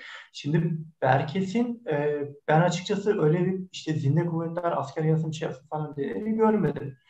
Çözüm önerileri Osmanlı için merkantilizme e, Türkiye için de yani tam anlamıyla bir devletçiliği aslında. Yani tarımı da önemseyen bir devletçiliği. Yani altyapıyı önemseyen bir çözüm önerisini gördüm. Ama özellikle 60'larda yazdığı ve böyle işte hemen şöyle yani herkesi başta söylediğim gibi e, Avcıoğlu kadar böyle bir sosyalizm e, özlemi de görmüyoruz aslında. Soldadır ama bilmiyorum doğrudan sosyalist midir ondan bile emin değilim. O yüzden zinde kuvvetler konusunda ben bir yazısını görmedim. Bunu söyleyebilirim yani. Şimdi... Yani belki gibi e, şey, şey Avcıoğlu gibi hani böyle bir ordu vesaire görmedim yani bu e, bu konuda şey diyor Niyazi Berke siyasi partiler 1946'daki eserinde e, ön sözde şöyle bir şey söylüyor. Hiçbir partiye mensup, mensup olmayan fakat demokrasiye inanan bu eserin yazarı diye kendinden bahsediyor. E, bu önemli bir katkı kendi adına. E, diğer taraftan da Berkes de aslında yine e, bu demokrasi meselesinin izini sürecek olursa şey gibi bir mesele var. E, aslında 23 ile 38 arasındaki e, bir yön meselesi var. Ne o yön? 23 ile 38 arasında da demokrasi tam anlamıyla uygulanamadı ama bir yön vardı. Oraya doğru bir gidişat vardı. Dün Hakkı e, Uyar hocamız da aynı şeyden bahsetti. E, şeyin Niyazi Berkes'in bir alıntısı da şuradan okuyabilirim.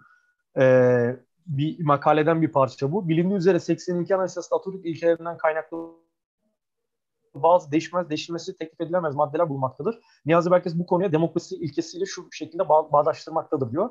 Kemalist düşünce yapısının temel öğelerinin anayasal ilkeler olarak tartışma konusu olamayacağı ileri sürmek bir diktatörlük rejimi önermek olmuyor mu dene, denebilir.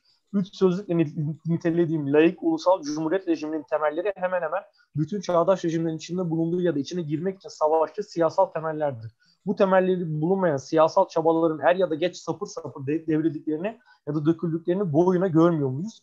Nitelendirdiğim rejimin bir dikta rejim olup olmaması bu temeller üstüne kurulacak pay katkılarının ne ölçüde o temellerle uyumlu olduğuna bağlıdır. Yani aslında bir üç tema üzerine tartışacak olursak demokrasiye bakışı kendisi de diyor ki layık, ulusal ve e, ulusal olacak ve cumhuriyet rejiminin temellerinden bahsedecek diyor. Evet. Yani o demokrasi aynı bizim şu anda sol Kemalizmin inandığı değerlerle ölçülü. Ama tabii ben de şeyin izini sürmedim bilmiyorum. Avcıoğlu da bunları istiyordu ama nihayette o demokrasi külliyen e, özellikle hayatında eksik görüyordu. Eksik görüyordu ama Berkes'te de böyle bir anlayış vardır.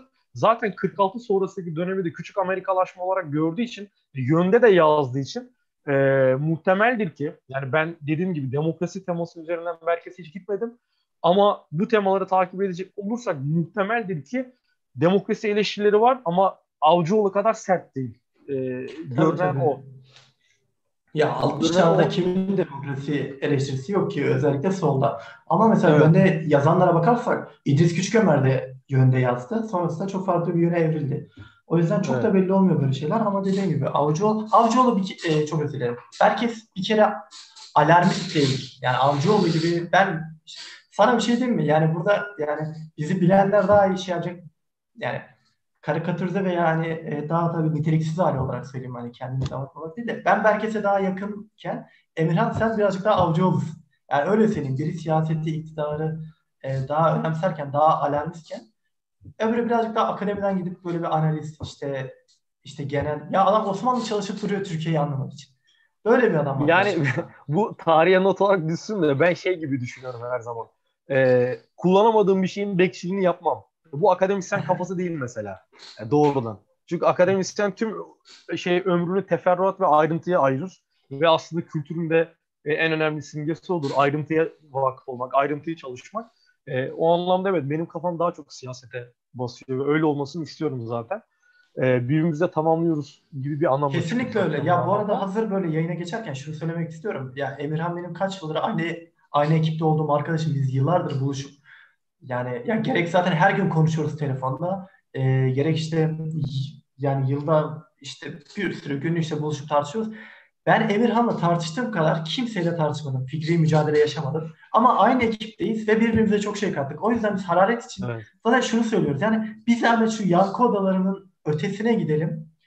Ve hani farklı fikirlerle bir şey alalım ya illa ki mükemmelleriz, bir eksiğimiz var. Onu görmemizi sağlasınlar. Evet, burada temel burada temel dinleyiciler açısından da önemli olan bence şu yön.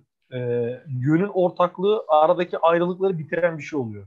Yani oradaki ayrılıklar hatta yöne giderken yani aynı ortak yöne doğru giderken e, bu çeşitlenme bizi o melezlenme, o hibrit olma hali bizi daha başarıya daha doğru götürmeye çalışıyor. Çünkü birbirimizi devamlı sorgulama halinde de kalıyoruz. Bir teyakkuz halinde de yani birbirimize yaklaşıyoruz. Evet. Erhan'ın bir sorusu var. Kemalizm ve ideoloji meselesi de Berkes'in görüşü çok önemli. Kırmızı kitaptan da bahsedebilir misiniz? Biraz Kemalizm bu anlamda geleneği kendisi icat etti denebilir. Türk tarih tezi gibi. Çok önemli. Ya Erhan'ın söylediği üzerine de yine ayrı bir program yapılabilir. O kadar yani. Ama şöyle Berkes'in Kemalizme bakışı. Şimdi Kurtuluş Hoca da şey diyor. E, Berkes diyor yani Kemalizmi anlamak, analiz etmek, eleştirmek için Berkes'ten e, yani Berkes'tir diyor ya. Bunu hani Kemalizmi en e, en olgun haline getirmiş, en iyi anlayan, anlatan. Ama şöyle bir şey var. Biz mesela ya veya yani çeşitli insanlar işte Kemalizmin en işte sağlam işte başarılı ideoloğu Berkes derken Berkes diyor ki Kemalizm ideoloji değildir. Ben de biraz aslında zaman geçtikçe yaklaştım bu görüşe. Ya ideoloji nedir? O tartışmaya geliyor bu sefer. Hani muhafazakarlık örneğin bir ideoloji ise evet yani Kemalizm'de bir ideoloji kabul edilebilir.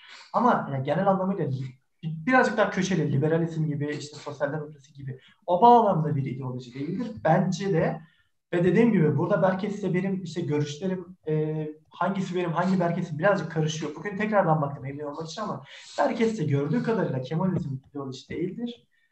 Kemalizm Türkiye'de radikal modernizmin pratiğidir ve Kemalizmin sağ bir yorumu da çıkabilir, sol bir yorumu da çıkabilir. Yani tıpkı ben öyle düşünüyorum. Ondan liberal bir yorum da çıkabilir. Yani Kemalizmden modern ideolojilerin hemen hepsini eşit.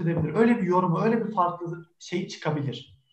Bunu bir yere koyalım. Ha, Kemalizmden ne çıkamaz? Bana kalırsa İslamcılık çıkamaz. Modernizm karşıtı çıkamaz. Temel e, şey budur. Yoksa hani Kemalizmi e, bir miras olarak kabul edip onu liberalizmle tamamlamaya çalışan bir yorum olabilir. Ben buna siz Kemalist değilsiniz, liberal Kemalist olmaz demem diyemem. Yani Kemalizmler var. Daha önce söylediğimiz gibi. Bu bağlamda Berkes'i Kemalizmi böyle görüyor. Bir ideoloji olmaktan hatta şunu söylüyor. Keşke diyor Altok e, CHP e, tüzüğüne girmeseydi de anayasada kalsaydı. Çünkü bu diyor modern devletin işte o batı tipi e, devlete geçtik ya onun temelleri diyor. Bunu ayıramazsın buradan diyor. Yani ister laikliği çek alanından, ister halkçılığı çek, ister devrimciliği çek eksik kalır. Bu diyor yani CHP'ye alınması yanlıştır diyor bunu. Hani parti programına ve parti siyasetine çekilmesi. Bu diyor anaya, anayasada olması gereken şey. Biz genelde konuşurken şeyi falan tartışıyoruz. Abi anayasada olsun olmasın? Herkes diyor ki anayasada olacak. Parti tüzüğünde olmayacak. Böyle de farklı bir yorum var. Bunu da söylemiş olayım. Şimdi e, son olarak bu altta bir yorum daha var. E, Yağız Küçük Kurap arkadaşımız sen, sen konuşurken herhalde bir e, düşünce geldi. Sınırları keskin, kitabı, külliyatı, görüşleri net, sert bir ideoloji değil Kemalizm. Daha yumuşak bir ideoloji diye düşünüyorum. E, bu tabii, konuyla ilgili ben bu yumuşak ve sert kavramlarını Şerif Mardin'in ideoloji kitabında karşılaşmıştım. Yumuşak ve sert ideoloji kavramında işte sert ideolojilerde daha sistematik bir şekilde işlenmiş, e, seçkin kültürüyle sınırlandırılmış, muhte yani içeriği kuvvetli bir yapı olarak görünüyor ama yumuşak daha kitlelerin daha böyle inanç ve bilgisayar şekilde ulaştığı bir şey olarak görülüyor. O anlamda bir katkı olabilir. Hatta ben e, Kemalizmle ilgili şey söyleyebilirim. Yani geçen gün onu Aziz Agustinus'un e, itiraflarında zaman kavramını tartışması var ya hani bu zaman bana sorulana dek e, onun ne olduğunu biliyorum. Başkası ondan söz edince onun ne olduğunu biliyorum. Ama bana sorulduğunda zamanın ne olduğunu açıklayamıyorum. Kemalistler de başkası konuşurken Kemalizmin ne olduğunu biliyorlar. E, veya onu sorana dek Kemalizmin ne olduğunu biliyorlar. Ama Kemalizmin ne olduğunu sorduğunda e aynı Aziz Agustinus'un kaldığı gibi zaman konusunda kaldığı gibi onlar da Kemalizm'e dair tam yanıt veremiyorlar. Yani iki üç tane çok temel işte aydınlanmadır, medeniyet şey Batı medeniyetine işte şudur budur falan diye bir açıklama getiriyorlar. Bir yandan da şey çok önemli bence orada. Yani miras sahiplenmek. Yani evet böyle bir devrim yapıldı. Eksikleri de olsa bu yani iyi ki yapıldı. Onun eksiklerini ben tamamlamayı görev ediniyorum söylemi. Ya bunu diyen adam benim için tamam Kemalisttir. Arkasından artık yani sosyalist mi olur, sosyal demokrat, liberal mi olur onun bir önemi yok. O mirası sahiplenmek benim için önemli. Yoksa şey de olabilir. Abi bir şeyler yaptılar ama ya, eksik kaldı. Biz de yapacağız? Sen bu işler Kemalizm diyen adamı Kemalizm için alamayız. Evet. Ee, herhalde katkı e, işimiz de bitti. Soru cevap da bitti. Ee, Cezmi abi hala alttan yazıyor ama e, artık, e, tartışmanın sonunda getirelim abi. İki saat oldu tam. Yok yok. ben e, beğendim sizlere bugün. E, bugün de güzeldiniz. Dün de güzeldiniz. E, şimdi laiklik konusunda yani çok konuşulması gereken e, konu var. O arkadaşımız... Çok uzun çok uzun olduğu için zaten abi aslında biraz da e, sanki evet. sana bir cevap hakkı gibi bir polemik e, yok yok polemik da değil. E, o arkadaşımız o, o arkadaşımız biraz daha bu işi derinlemesine incelesin. E, Türkiye'deki laiklik e, çok farklı bir anlayış. Ve o bir bilgi daha vereyim o arkadaşımıza. E, Cengiz Han diye bir kitap var. Bir İngiliz'in kitabı e, Türkçe'de çevrilmiş. Bizim çocuklar Hollanda'da İngilizcesini okudular. E, Remzi Kitap Evi'nden çıkıyor. Orada ilk laiklik uygulamaların dünyada hatta demokrasi uygulamaların Türklerde olduğunu yazıyor. O arkadaşımız romanlardan falan bahsediyor da onu da bilgi olarak vereyim. E, onu da not alsın. E, şimdi Tatlıp kardeşim e, Niyazi Berkes eğer ben Türkiye'de başbakan olursam Niyazi Berkes'in Türkiye'de Çağdaşlaşma kitabını zorunlu ders kitabı olarak e, öğrencilere okutturacağım. Onu bilmenizi isterim. E, Emrah arkadaşıma da bir şeyi söyleyeyim. Türkiye'de Çağdaşlaşma kitabında yazılı olanları biz bugün yaşıyoruz. Yani onu e, bir altını çizerek söyleyeyim. Yani o Çağdaşlaşma kitabında yazılanlar Cumhuriyet şey Atatürk dönemiyle veya e, 1960 öncesine hatta 50 öncesine ait değil onu da söyleyeyim yani. Şu hı hı. an yaşadıklarımızın e, nedeni orada çok açık açık yazıyor. Ama şunu söyleyeyim, sizlere kutluyorum. E, tesadüf tanıştım. Hakkı Bey aracıyla tanıştım. Yani Hakkı de, demeyi de Facebook'ta e, şeyi görmüştüm. E, paylaşımı. görmüştüm. E, paylaşımı görmüştüm. O vesileyle aranıza katıldım. Ama e, zaman buldukça e, izleyeceğim. E, ve şunu da söyleyeyim, e, katkıda da bulunacağım da e, zamanınızı almak istemiyorum. Eğer benim bir işim buralarsa ben literatür konusunda size yardımcı olurum. Bir bilgi daha vereyim. Aklınızda olsun. Dün Hakkı Bey konuşurken e, ben araştırdım da bulamadım. E, dünyada 13. yüzyıldan itibaren Viyana'da Türkolojisi kuruluyor. Bakın 13. yüzyılda. 16. yüzyılda da Hollanda'da kuruluyor. Leiden Üniversitesi Hollanda'da, ben şimdi Hollanda'da kaldığım için, yaşadığım için, orayı çok iyi bildiğim için söyleyeyim. Hollanda'da Leiden Üniversitesi'nin kütüphanesinde 16. yüzyıldan bu tarafa Türkçe yayınlar e, değerlenmiş, toparlanmış Türkçe ile ilgili, Türkiye ile ilgili, Türklerle ilgili dikkatinizi çekerim. Yani evet. Osmanlılar döneminde Türklerden bahsedilemezken orada Türklerle ilgili bilgiler, belgeler, yayınlar, e, tarihi eserler hep değerlenmiş, toparlanmış. Osmanlı dönemine ait, Cumhuriyet dönemine ait e, İngilizce, Türkçe istemediğiniz kadar yayın vardır Leiden Üniversitesi'nde. Yani Türkiye'de bulamayacağınız literatürleri siz genç araştırmacılarsınız. Onun için bilgi veriyorum. Aklınızda olsun. Ben size yardımcı olurum. Oralarda vardır bu. Vardır. Tamam. Onun için size e, katkım olur. E, sevdim sizi. Başarılar diliyorum. Çok iyisiniz. Böyle devam edin. E, ama size bir şey daha söyleyeyim altını çizerek. Son olsun abi. Siz olun, siz olun. Başkalarının etkisinde kalmayın, siz olun. Size bak tamam. iyisiniz. Siz tamam. olun. E, e, e, eyvallah abi. Çok teşekkürler katkılar için. Ee, Başarılar diliyorum. Eyvallah. eyvallah. Ee, Saltuk bir bitiriş şey yapacak mısın? Çok kısa. 10-20 saniyelik. Herkese teşekkür et ve artık yayını kapatalım. Çok uzadı ya Ben bence bitirişi başta yaptım. Ee, yani planladığım yani altı buçuk aklımda olan her şeyi anlattım diye düşünüyorum. Belki dair her şeyi zaten anlatamadım. Anlatmaya da imkan yok. Ya okuyun biz belki sizlerine gerçekten yani defalarca yayın yaparız ve her seferinde farklı şeyler konuşuruz. Okuyun demek de kusura bakmayın birazcık yani ayıp okursunuz tabii ki de e, e, ya bugün burada olan katılan işte yanında olan dinleyen şimdiye kadar iki saati geçtik sanırım. Herkese ben çok teşekkür ediyorum. Yani çok mutlu ettiniz beni. Onu söyleyeceğim sadece. Çok sağ olun. Tamamdır. Ee, bu yayın da böylece sonlanmış oldu. Ee, hem Saltun ağzına sağlık hem de dinleyicilerin sağlığına sağlık. Ortalama 1-2 haftadır hep 2 saatlik falan yayın oluyor. Polemikli de bir yayın oluyor. Ama işte Habertürk'ün CNN'in seviyesine ulaşamasak da polemikte yine de güzel yayınlar oluyor. Polemik değildir her zaman. E, herkese teşekkürler. Katıldığınız için sağ olun. Bundan sonraki yayında programda ne vardı Salto? Katılıyor musun? Bundan Ee, sonraki yayına. 14 Aralık'ta Seçkin Çelik hocamız İsmet İnönü'yü anlatacak. Evet. Sanırım ben modere edeceğim bu arada. Öyle konuşmuştuk ama Tamam. Tamam. Burada Salto ihale de almış oldu. evet evet. Tamam sen yönet. gözünün önünde söyledim. Hepsi, hepsi senin olsun. Aynen. Tamamdır. Hocam yayını da benim. tamam. Tamam. Ee, herkese iyi akşamlar. Katıldığınız için çok teşekkürler. Sağ İyi olun. olun. akşamlar. Görüşmek İyi üzere. akşamlar, iyi Çok sağ olun. Eyvallah.